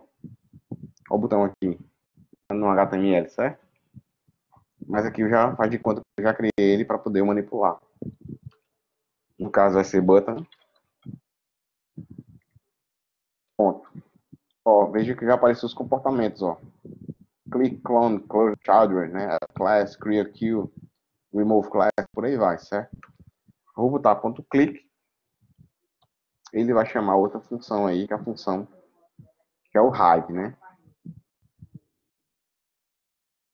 Hide aqui eu vou dentro dessa função ele vai esconder o parágrafo, certo? Nesse exemplo que eu eu também vou criar o parágrafo para frente, certo? Ponto hide. Deixa eu ver se não está faltando nada aqui. Aqui eu vou finalizar a função. E aqui eu também vou finalizar esse código aqui. Alguém não entender esse código, alguém tem alguma pergunta sobre esse, esse primeiro código aqui, todo mundo consegue entender que isso aqui é uma função, né? Ó, eu passo quem? O clique. Então, ao clicar no botão, ao clicar no nome cujo elemento é botão, ele vai fazer o quê? Esconder quem? O parágrafo. Beleza, pessoal? Todo mundo consegue entender aí? Ou não? Deixa eu todos calados aí. Deixa eu botar aqui para ver. Aqui, ó. Calma, vamos lá. Beleza.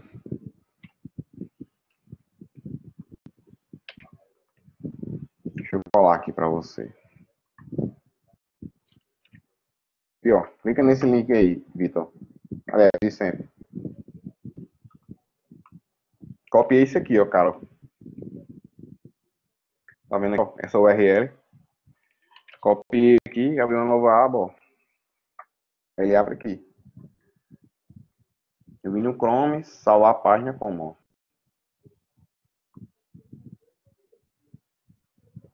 Conseguiu visualizar aí? Acho que é assim, né? Tranquilo? Os demais aí. Os demais aí, todo mundo calado. Todo mundo entendeu? Posso ir?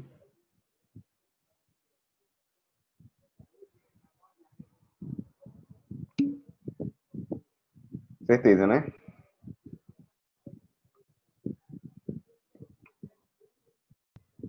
Eu vou seguir. Se ninguém falou nada. Vamos lá. Bom, então aqui eu fiz a parte do JavaScript, só que falta a parte do HTML, né? Porque cadê o botão e cadê o parágrafo que estão aqui, ó? São as duas manipulações que eu me proponho a fazer, né? Aí eu passando aqui para a segunda parte do código, Observe que dentro do escopo, certo? Deixa eu voltar aqui. Eu tenho aí alguns elementos HTML. Eu vou ter aqui um título do site, né? Que tem aqui, certo?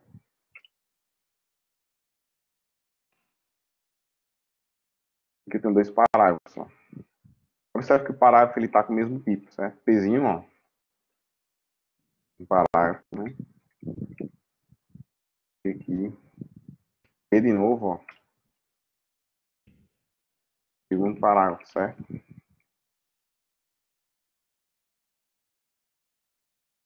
E aqui eu vou criar o botão. Um button. Aqui eu vou botar o nome, ó. Clique aqui.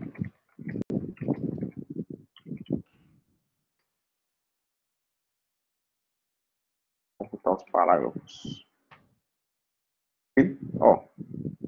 Observe que o HTML está dentro de body, ó. E o jQuery está dentro de script, que está dentro de HUD, certo? Mais uma vez eu vou ter que criar esse documento para ele reconhecer todos os elementos de quem? Do documento. Ó. Se eu tirar isso aqui, ele não vai reconhecer quem está aqui dentro. Documento inteiro, na verdade. Então, document é o quem? É o exemplo, 02.html. Então, ele está pronto para ler a função no sentido de, de processar os comportamentos. Então, esse read.function é o que garante que todos os comportamentos dos elementos HTML vão funcionar normais, tá certo? Aí aqui dentro do botão eu cliquei uma função, ó. Aqui eu tenho o elemento button, que é esse aqui, ó. É um botão que eu estou criando em HTML. E aqui eu tenho o elemento parágrafo, que são esses dois aqui, ó.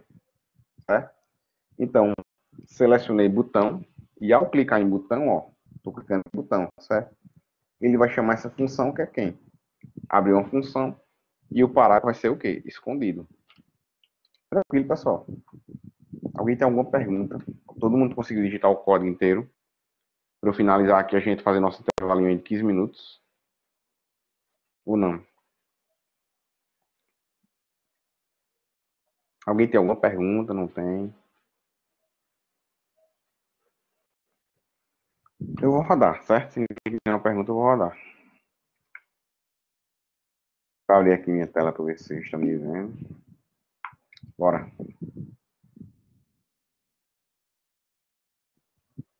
Vamos abrir exemplo 2 aqui, ó. Deixa eu separar aqui tá? eu o que vocês estão vendo. Quando eu clicar aqui, ó. É, ele não, não ocultou, né?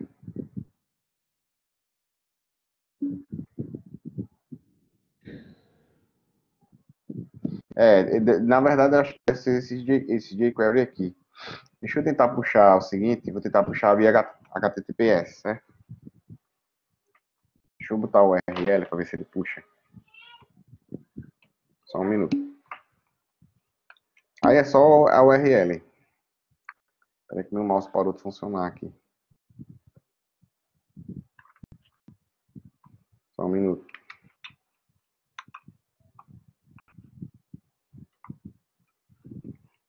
Eita, menino, hora de mouse acabar a pilha. Pera aí, pessoal.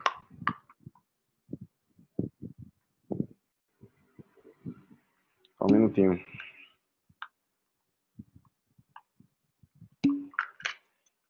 Calma.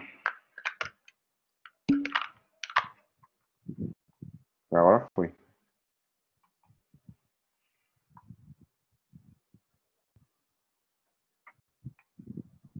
Falta o parênteses em rádio. Vamos lá. Faltou. Aí não rola, né? Vamos lá. Ver agora o Chrome. E agora foi, ó. Obrigado aí, vice. Então tá certo. Não é, não é o arquivo, não. Até porque o arquivo eu baixei, né? Era o parênteses mesmo. É, é verdade. Todo mundo viu aí rodando aqui? Ó. Certo? Deixa eu ver o chat vocês. Ó, vou clicar, ó. Ele. Hide. Tranquilo, vou botar aqui o código mais uma vez na tela. Para todo mundo ver, ó. Alguém tem alguma pergunta? Alguém tem alguma dúvida? Alguém quer falar alguma coisa? Fala alguma coisa. Já faz, já faz uma hora e meia que eu tô falando aqui já. Uma hora e meia não, é uma hora e, vinte, uma hora e meia quase, né? Vocês querem que eu colo o código aí pra vocês? Deixa eu colar.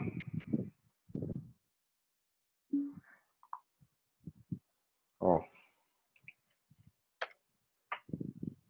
Tranquilo, pessoal.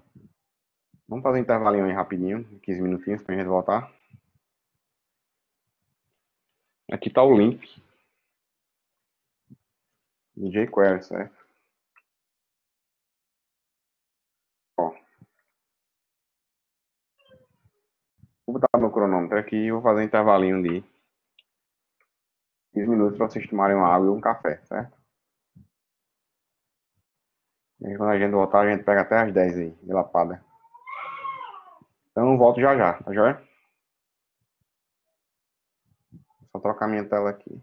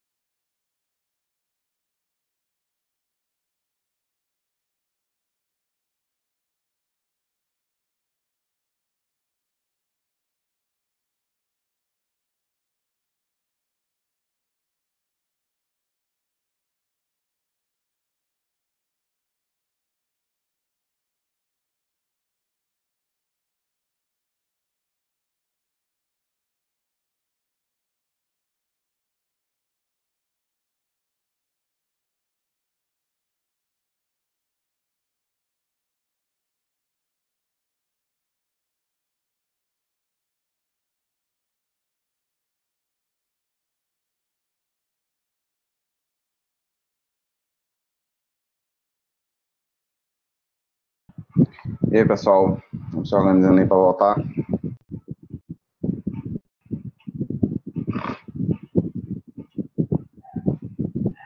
Todo mundo entendeu esse exemplo que eu botei?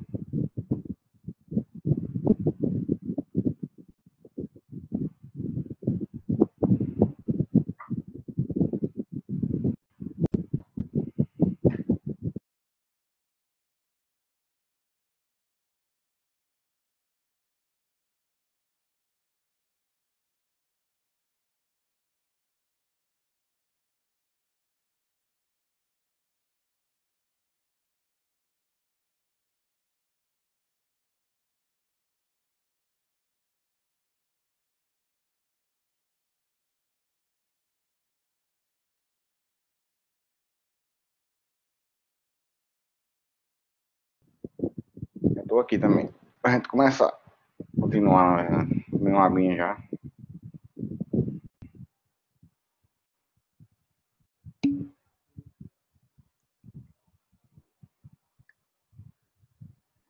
E aí, como é que vocês estão, hein? Como é que foi a semana de vocês aí?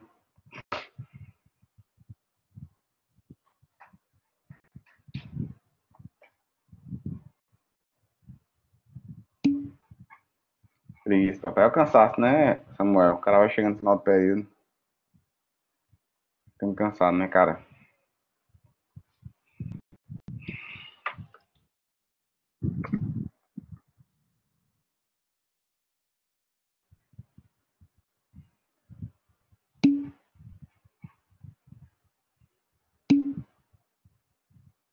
E é.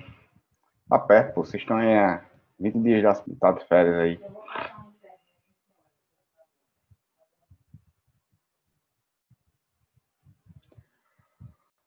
Eu tenho jogo do Brasil, né? Eu...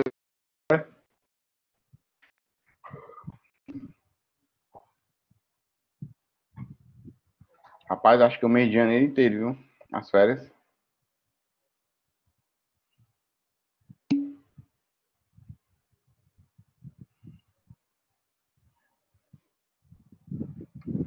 Deixa eu tirar essa tela aqui para tá novamente a minha aqui.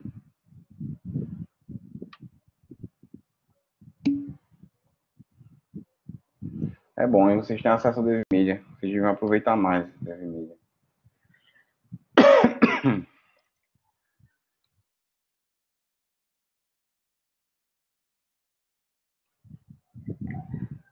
Tem mais três minutinhos aí de intervalo.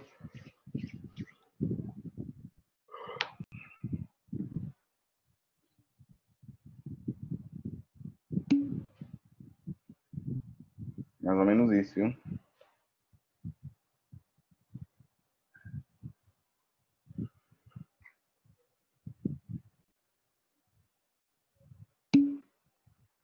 Acabou, acabou suando. A gente tá no mês do Natal, né? Hoje é 17 de novembro.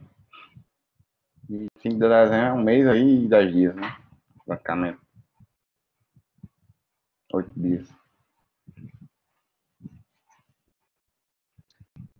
Semanas e quatro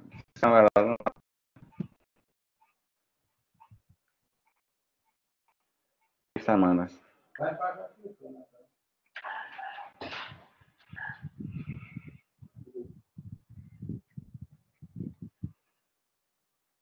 E aí, pessoal, vamos se organizando para voltar. A gente vai puxar até 10 hoje, viu? Vou pagar os 20 minutos aí da.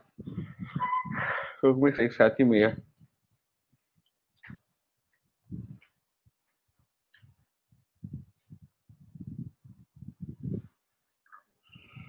Passa rápido. A aula de vocês passa muito rápido. A aula de programação. Olha o que apareceu para mim aqui.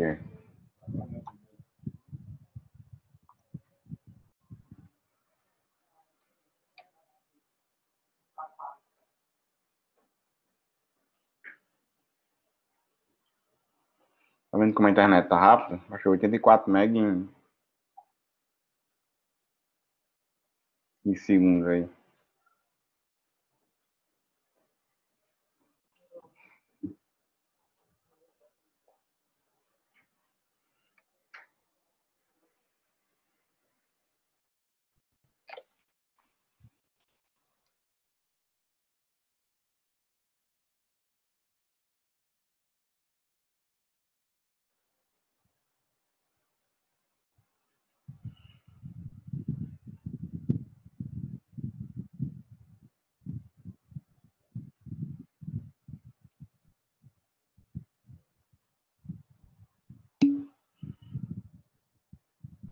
É um mês, viu, Victor? Um mês inteiro aí. Em janeiro.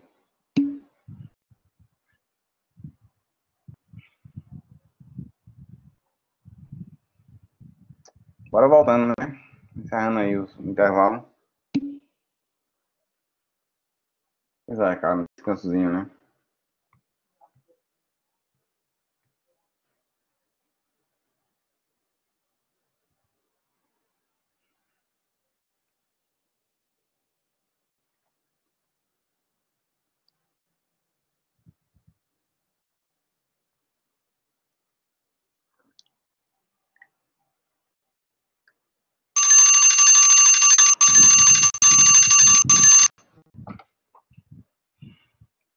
Todo escutou a sirene aí? E aí, posso continuar, né? Bora. Bom, então esse foi o nosso primeiro exemplo aí de jQuery. Todo mundo conseguiu rodar esse exemplo aí. Todo mundo entendeu, na verdade. Voltando aqui mais uma vez, ó. Acho que sim, né? Se ninguém falou, acredito que todos entenderam aí, né? Tranquilo? Então, exemplo 2, a gente vai fazer o teste aí pelo ID, ó. Certo? Tá vendo o ID teste, ó? Eu vou criar outro exemplo para que vocês possam memorizar, certo? De novo, certo?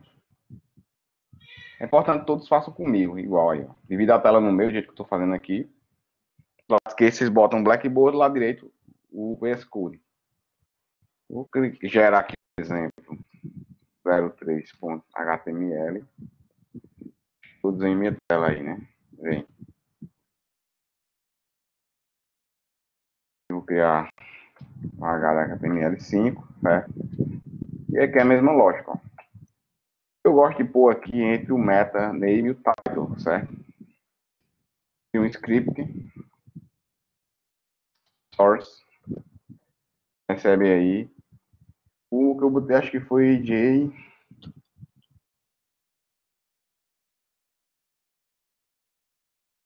Não, que eu botei no outro. jQuery.min, né? jQuery. Já apareceu aqui para mim, ó. Certo? E ele já identifica como JS, tá vendo aqui, ó. JavaScript. jQuery.min.js, né? Fecho a tag, certo? E aqui vou criar um novo. Vamos alterar esse title aqui, né? Eu tinha alterado, vou botar aqui exemplo 2, certo? Exemplo 02, ó. E aqui eu vou criar também um novo script, ó. mais uma vez, para memorizar, certo? Vamos usar aí o cifrão, né? Que é do jQuery. Faço como parâmetro. É que ele já, mais uma vez, ele já identifica, ó. Faço o document como parâmetro, tá certo? Para ele identificar o documento inteiro. Outro read. Aí o documento, certo?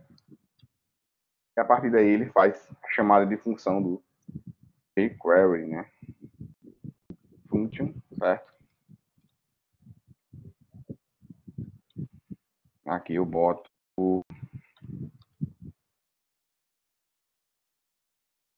Vou deixar fechadinho aqui, certo? E aqui eu vou criar, fazer a mesma coisa, na verdade. Só vai mudar aí a questão do, em vez de ser o nome, vai ser o ID, né? Então, ó. Mais uma vez, certo? Ele não identifica ainda porque eu não criei o botão, certo? Ponto. Clique. Aí mais uma vez, ele abre uma function, né? Certo? Falo, chave, fecho. Já vou deixar fechado também. Certo? E aqui eu vou criar mais uma vez o meu cifrão. Eu puxar via ID teste. Entre aspas, dupla, porque ele é HTML, lembre-se disso. Em cima eu esqueci também, né, ó.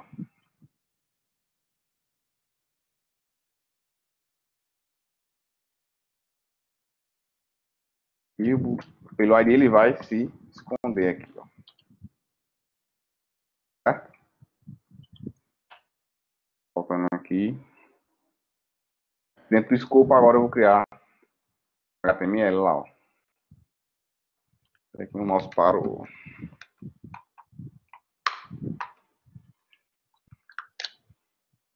Eu dei uma queda nesse mouse aqui, meu amigo, que tá complicado.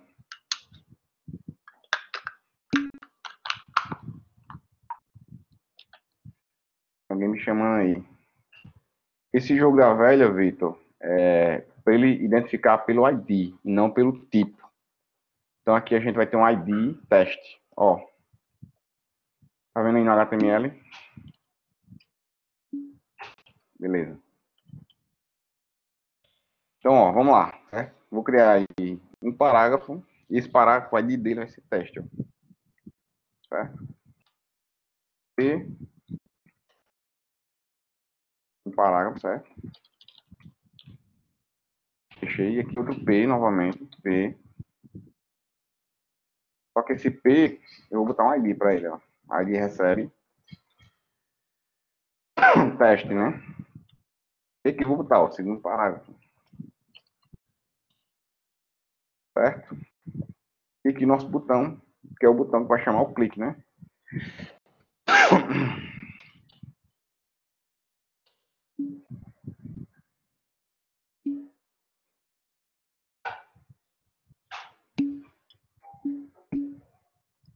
É, tá teste, valeu, obrigado aí. Lá tá teste, né? Aqui tá teste. Vou botar um E aqui, certo? Obrigado.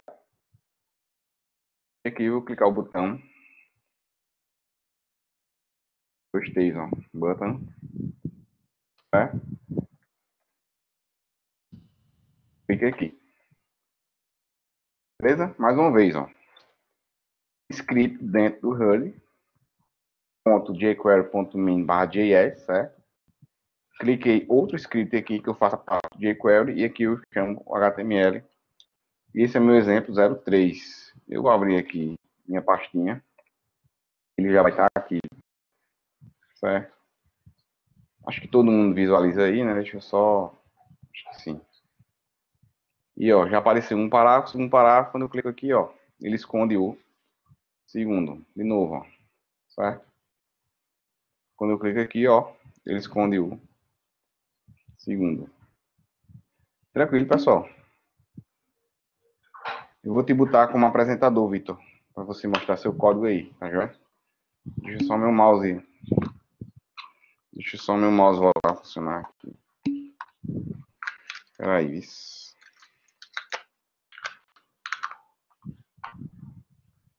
Pronto, voltou. Deixa eu te pôr aqui como apresentador. Compartilha tua tela, cara. Assim o pessoal tem ajuda aí.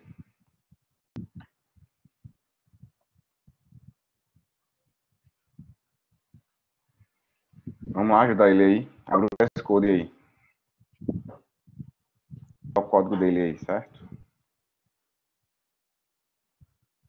Vê se ele não está esquecendo de nada aí, pessoal. Tá na mesma pasta é, o jQuery.me Abre lá tu pasta raiz aí pra gente ver. Não tá não, ó. Não tá aí não. Tem que estar tá aí dentro da pasta. O jQuery.min. Que pasta é essa, professor? Esse arquivo aqui, ó. Ah, tem que baixar algum arquivo e jogar pra dentro da pasta? É do, do jQuery? Isso, deixa eu te colar um link aí pra você baixar. Pronto, certo. É por isso que não tava pegando. É, você tá sem, na verdade, vamos fazer, vamos fazer o seguinte, em vez de você baixar, vamos fazer um teste aqui, rapidinho. Cola aí onde tem esse, esse, esse teu arquivo, cola essa referência aqui, ó. Né? Certo. Cola tudo aí, tá vendo? Que já puxa automático. Isso. Dá um Ctrl S para salvar. Não. Nada. Atualiza não, né? Nada. Tem que baixar mesmo. Tem que baixar. clica nesse link aqui. É, clica aí. Vige? Vai lá em arquivo do navegador. Salvar. Salva, deixa eu olhar aqui para te orientar. Não, lá em arquivo, lá em cima. Navegador. Lá aqui. em cima no Chrome. Arquivo. Salvar a página como. Lá na barra de títulos. Peraí, professor, tô meio perdido. Na barra de títulos do Chrome. Tá sem barra de títulos? Não, barra de títulos, já tá. É. Não, pô, lá em cima. Compartilha, faça o seguinte. Interrompe o compartilhamento, compartilha a tela inteira. Certo. Você compartilhou um software, né? Isso. Tela inteira agora. Janela do aplicativo. A tela inteira. Agora a tela inteira, isso. Pronto, dá para ver?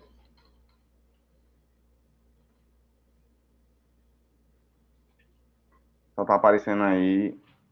Faz o seguinte, deixa eu, deixa eu. Compartilha aí pra botar a minha, pra tu ver. Pronto, mostra aí pra mim.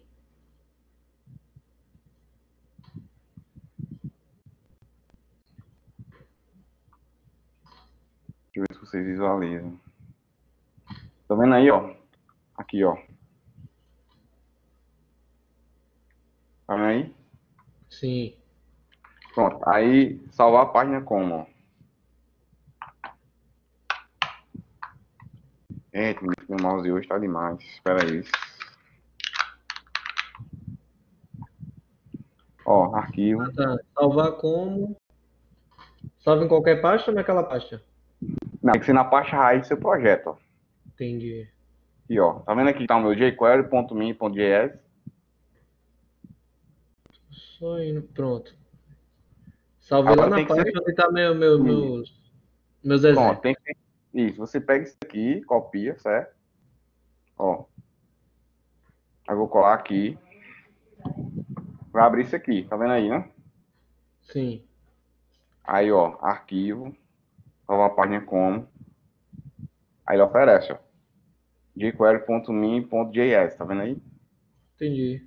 Pronto, eu salvei aí, tem que estar na pasta raiz, faça o teste. Até ele ajudar, vou colar o. Eu já joguei para para para pasta raiz, na verdade. Só falta agora eu fazer o, o script. Olha o link aí, ó. Já clica aí, já salva direto. Não, ele já, já acha aqui no, no script, quando eu coloco jquery, ele já acha o arquivo. Volta lá para tua tela novamente. Quer que eu compartilhe? Vai. Aqui, ó, deixa eu mostrar. Quando eu apago isso aqui, ó, por exemplo. Aí já sugere, né? Isso. Isso, justamente. Deixa eu dar um Ctrl S. Tentar abrir agora. Agora ele vai. Agora foi. Deixa eu tentar cortar. Né? Já estamos por aqui. Ah, agora foi. Agora tá tranquilo. Joia. Mais alguém, pessoal? Tem alguma dúvida? Alguém quer compartilhar também para tirar? Não? Vitor. É, é vocês compartilhar as telas de vocês, porque às vezes a dúvida de alguém, a dúvida do colega, né? Aí a gente já ajuda a resolver, entendeu? Tem mais outro exemplo aqui, ó. Os eventos, né? Com jQuery, certo? Evento é o que mais, mais se usa, na verdade, no jQuery. Deixa eu vocês estão vendo, então. Então, representa um momento que algo acontece, um documento, né? Ali é o comportamento que, a gente implementou, certo? Exemplo, mover o mouse sobre um elemento, selecionar um, um radio, né, button, clicar em um elemento. Em jQuery, a maioria dos eventos DOM, né, DOM quando a gente fala o documento, né, é o document. Possui métodos equivalentes, exemplo, para atribuir um evento clique para todos os parágrafos do documento, né, p.click. A próxima etapa é definir o que vai acontecer quando o evento ocorrer, né? Foi o que a gente fez, na verdade, ó. p.click function, implementação aqui, né? Então, para cada comportamento que a gente atribui para um elemento, a gente tem que criar uma função, certo? Para que essa função, ela, o, o navegador ele interprete, justamente chama esse comportamento que a gente está desenvolvendo, ó. Aí tem mais outro exemplo aí, ó. Document.read function p double click function é, this.hide. Nesse caso aí é duplo, né? Clique. Vou implementar esse mais uma vez, né? dupla desapareceu, para todo mundo ver. Vou criar aqui um novo exemplo, chamado exemplo 04, certo? HTML. O porquê que você digita e repete, não cola, para vocês fixarem. Vocês fixam, digitando e não fixam colando. Por isso que eu digito, faço questão de digitar, tá certo? Que as pessoas perguntam. Então, vou botar aqui script source, né?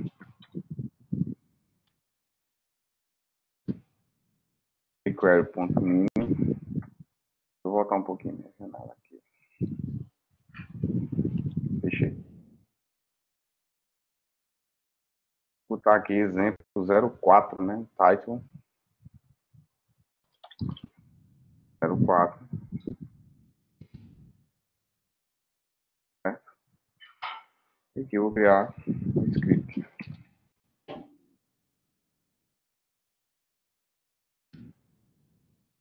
document, mais uma vez, tá certo?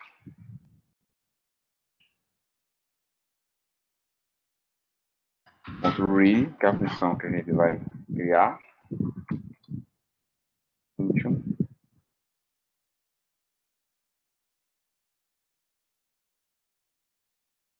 A gente já pontua. Uma sugestão que eu vou dar, você já crie é, o ponto de vírgula naturalmente, certo?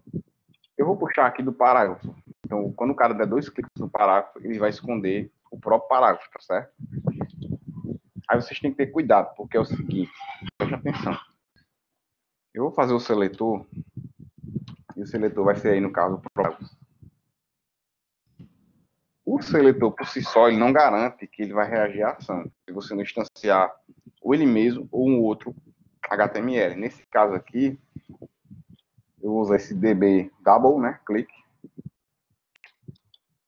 function, certo? Eu quiser chamar ele próprio, eu passo o próprio seletor, certo? E dentro dele, em vez de botar o elemento HTML, eu boto o próprio this, tá certo? Que ele vai chamar o próprio elemento da função que você está passando como parâmetro, certo? E que eu boto o raio para poder ele chamar. Tranquilo, né? Mesma coisa que a gente já tinha feito. Vamos lá para HTML também, tá certo? Então aqui o body. Mais uma vez eu vou criar aí os elementos H2, certo? Pode ajeitar no slide. Aqui o site. Aqui eu vou criar dois parágrafos. P. Clique. E para desaparecer. E um segundo parágrafo aqui abaixo, ó. Também, né? Certo? O nosso exemplo está encerrado. Vou abrir aqui exemplo. Deixa eu desagregar aqui para que todo mundo veja. E eu vejo que vocês estão vendo.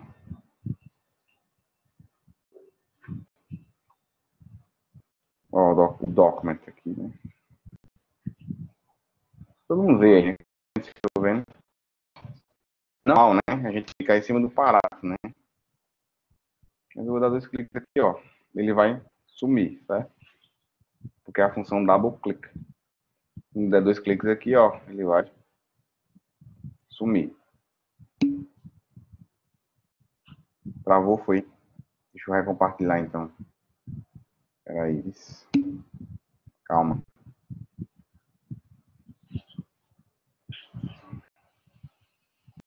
Agora, acho que normalizou, né? Ó, de novo, certo? Exemplo 4, ó. Vou soltar ele aqui para eu ver o que vocês estão vendo. Um dos dois, dois cliques em cima do parágrafo, ó, ele desaparece. Atualizei aqui novamente, certo? Dou dois cliques. Massa. Dois cliques aqui de novo, ó, ele desaparece. Tranquilo, pessoal. Alguém tem alguma pergunta desse código? Vou botar o código aqui mais uma vez para vocês verem, ó. Beleza. Certo? Vamos para o próximo exemplo aí. Foi. Não, jQuery é fácil. É muito facinho.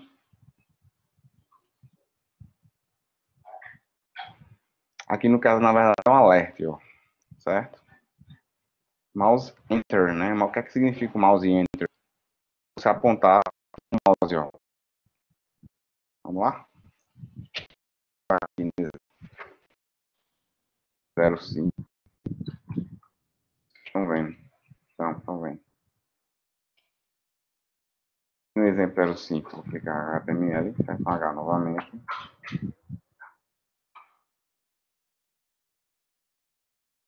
Uma vez o script. Porque ele botou script, né? Não é script.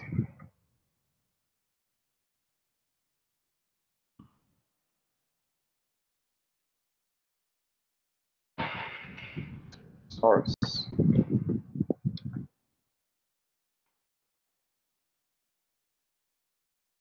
Deixa o script, certo?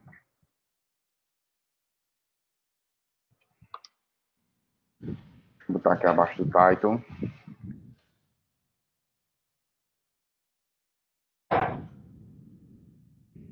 Script.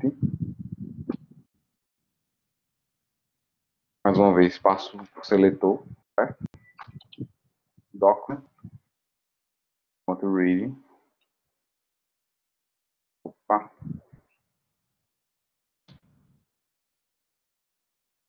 Function.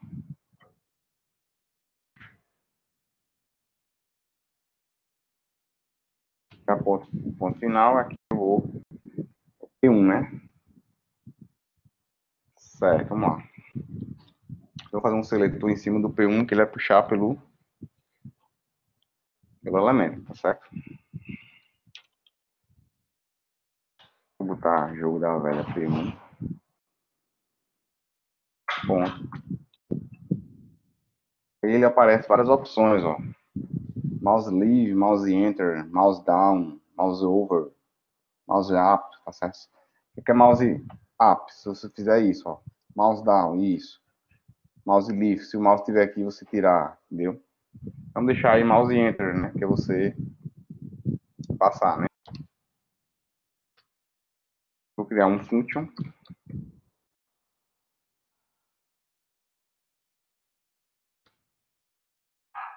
Abre, fecha chaves, tá certo? E vou criar um alert, né? Alert. O alert é só uma mensagenzinha, né? Você move pontuar aqui. Vamos agora para HTML, né? Vou criar um H2.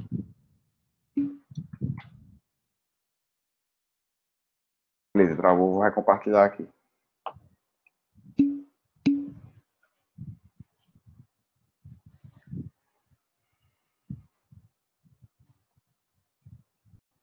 Agora normalizou, né? Tudo bem, né? Beleza.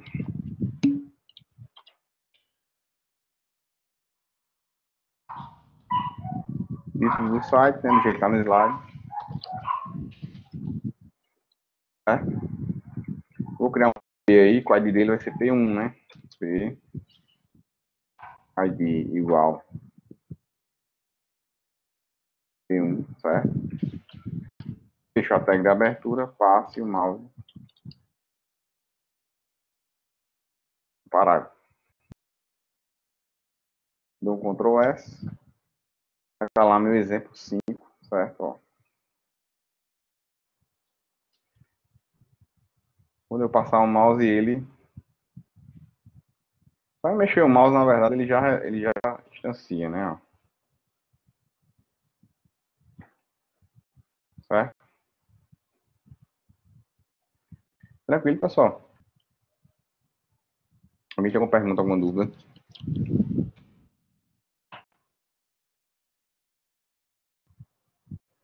Posso seguir o próximo exemplo?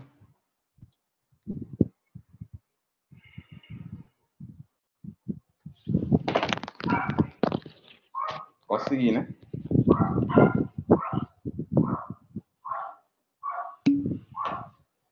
Vamos lá.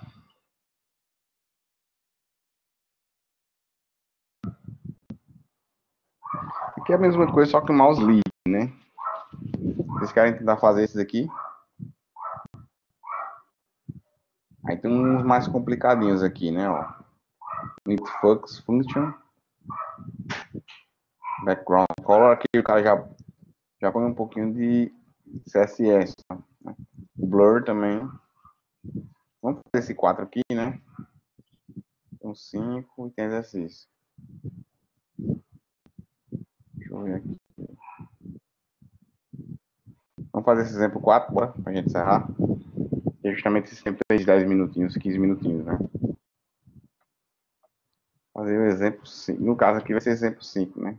Gente fazer, certo? Aliás, exemplo 6, ó. Vou clicar aqui esse exemplo 06.html. O H, certo?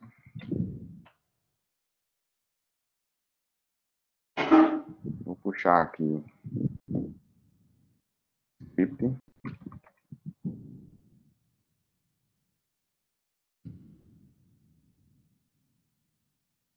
jQuery.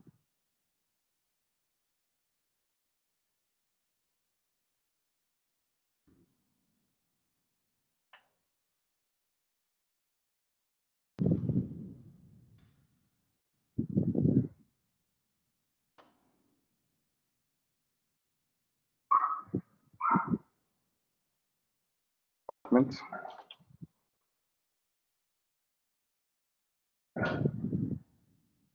to really vai chamar a função, né?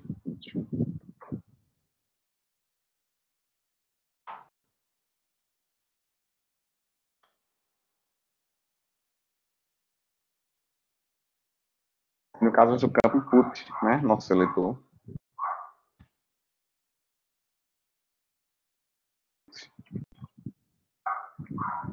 Vai fazer com input ponto focus não sabe o que, é que significa esse focus, né? Ou não.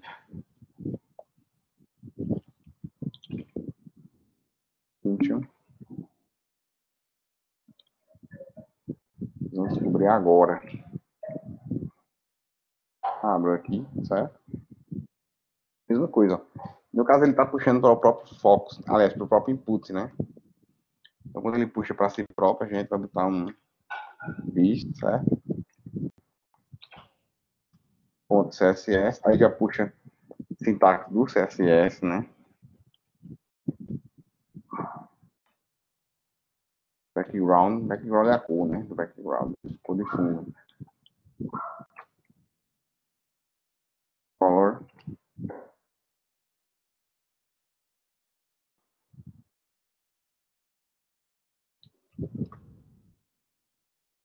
Vírgula. Copiar esse aqui, que é muito.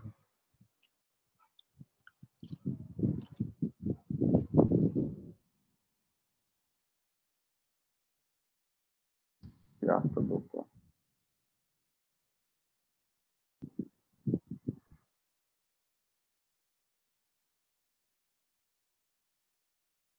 Copiar aqui, porque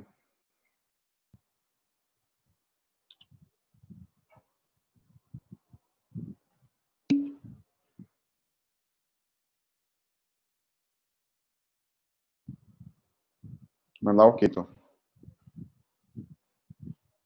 Exatamente. Certo.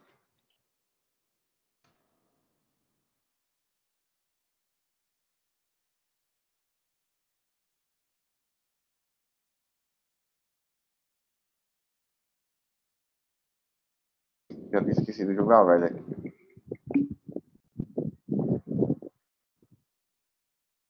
Beleza.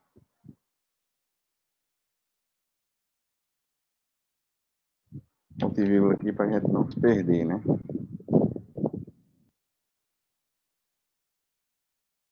Abaixo, input também um blur, né? Vamos lá.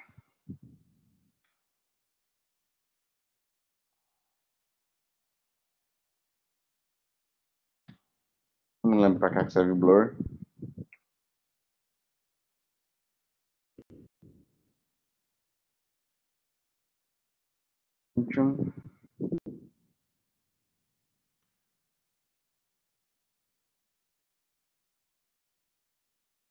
Mesmo, novamente, né? Seletor, né?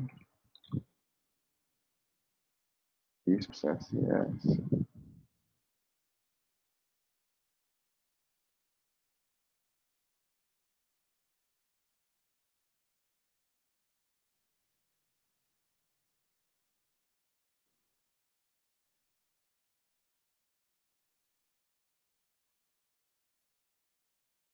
Vocês querem que eu copie o F também?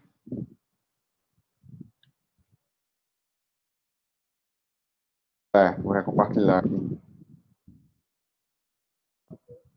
Um minuto.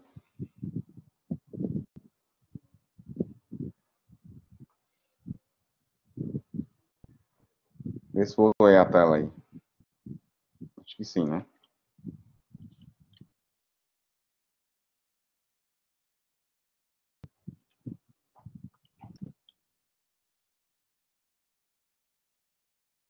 Vou botar ponto e vírgula. E vamos para o HTML.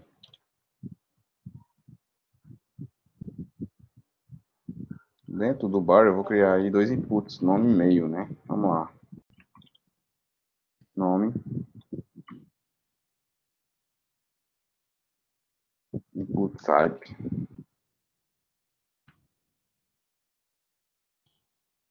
X-Men.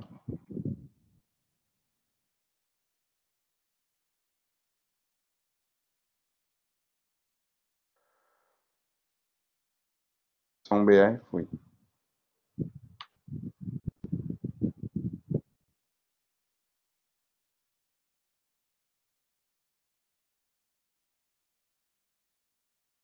E-mail dois pontos input Mesma coisa, né? Tá.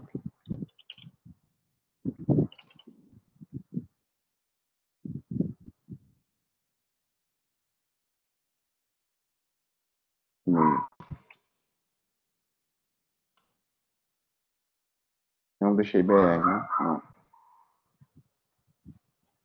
Vamos lá rodar, né? Vamos ver o que é que dá isso aqui. Exemplo 6.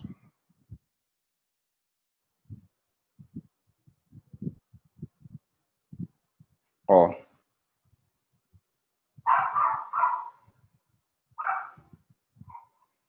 Foi o que aconteceu, foi o que eu fiz aí, hein?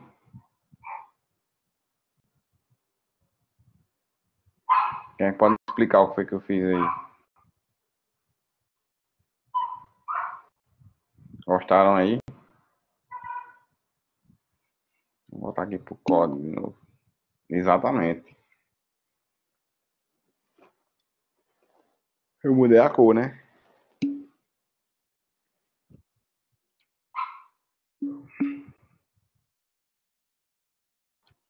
Isso. Deixa eu rodar de novo, né? Pra vocês verem. É, é justamente o jQuery, né, Vitor? O próprio. Ó, de novo. Ó. Aqui não aparece nada não, mas os e-mails aparecem, né? Ó.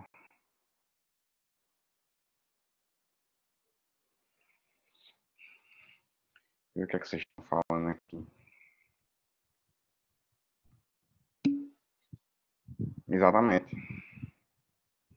Beleza, pessoal. Tem mais um exemplo aqui. Eu vou deixar vocês fazerem aqui esse exemplo 5 aqui, ó. Light gray, light blue, né? A mesma coisa. Em vez de ser o código da cor, você bota aí o nome da cor, né? Seria um cinza claro aí e um azul claro, na verdade, né?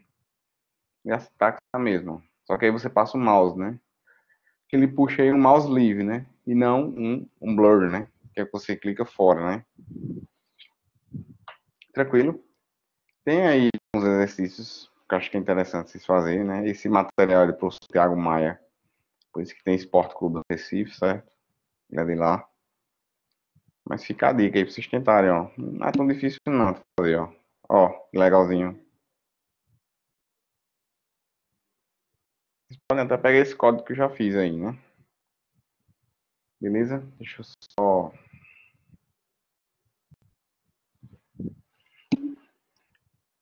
Vixe, como tá escuro, vocês não vão nem me ver. Então aí agradeço a todos pela paciência comigo, certo? Mais uma vez obrigado aí por tudo. É, enfim, certo? Próxima semana a gente faz aula de revisão. Joia. E vou trazer uma, alguma coisa para a gente praticar também, tá certo? Vou deixar com vocês também uma lista de exercício. Nessa não, na, na outra, dia 26. Porque nessa aqui, nessa aqui eu não tenho como ainda. Mas a partir da semana que vem eu já vou estar no meu apartamento. Aí a gente tá certo? A gente pega aí uma hora, uma hora e pouco aí após a quinta-feira mesmo. Eu aviso a vocês, vocês não se preocupem não, que a gente vai dar um jeito aí de repor, nem que seja essa aula que vocês não tiveram, porque eu tô, tava de licença paternidade. Beleza? Então, obrigado a todos aí. Boa semana e um abraço para vocês. Valeu!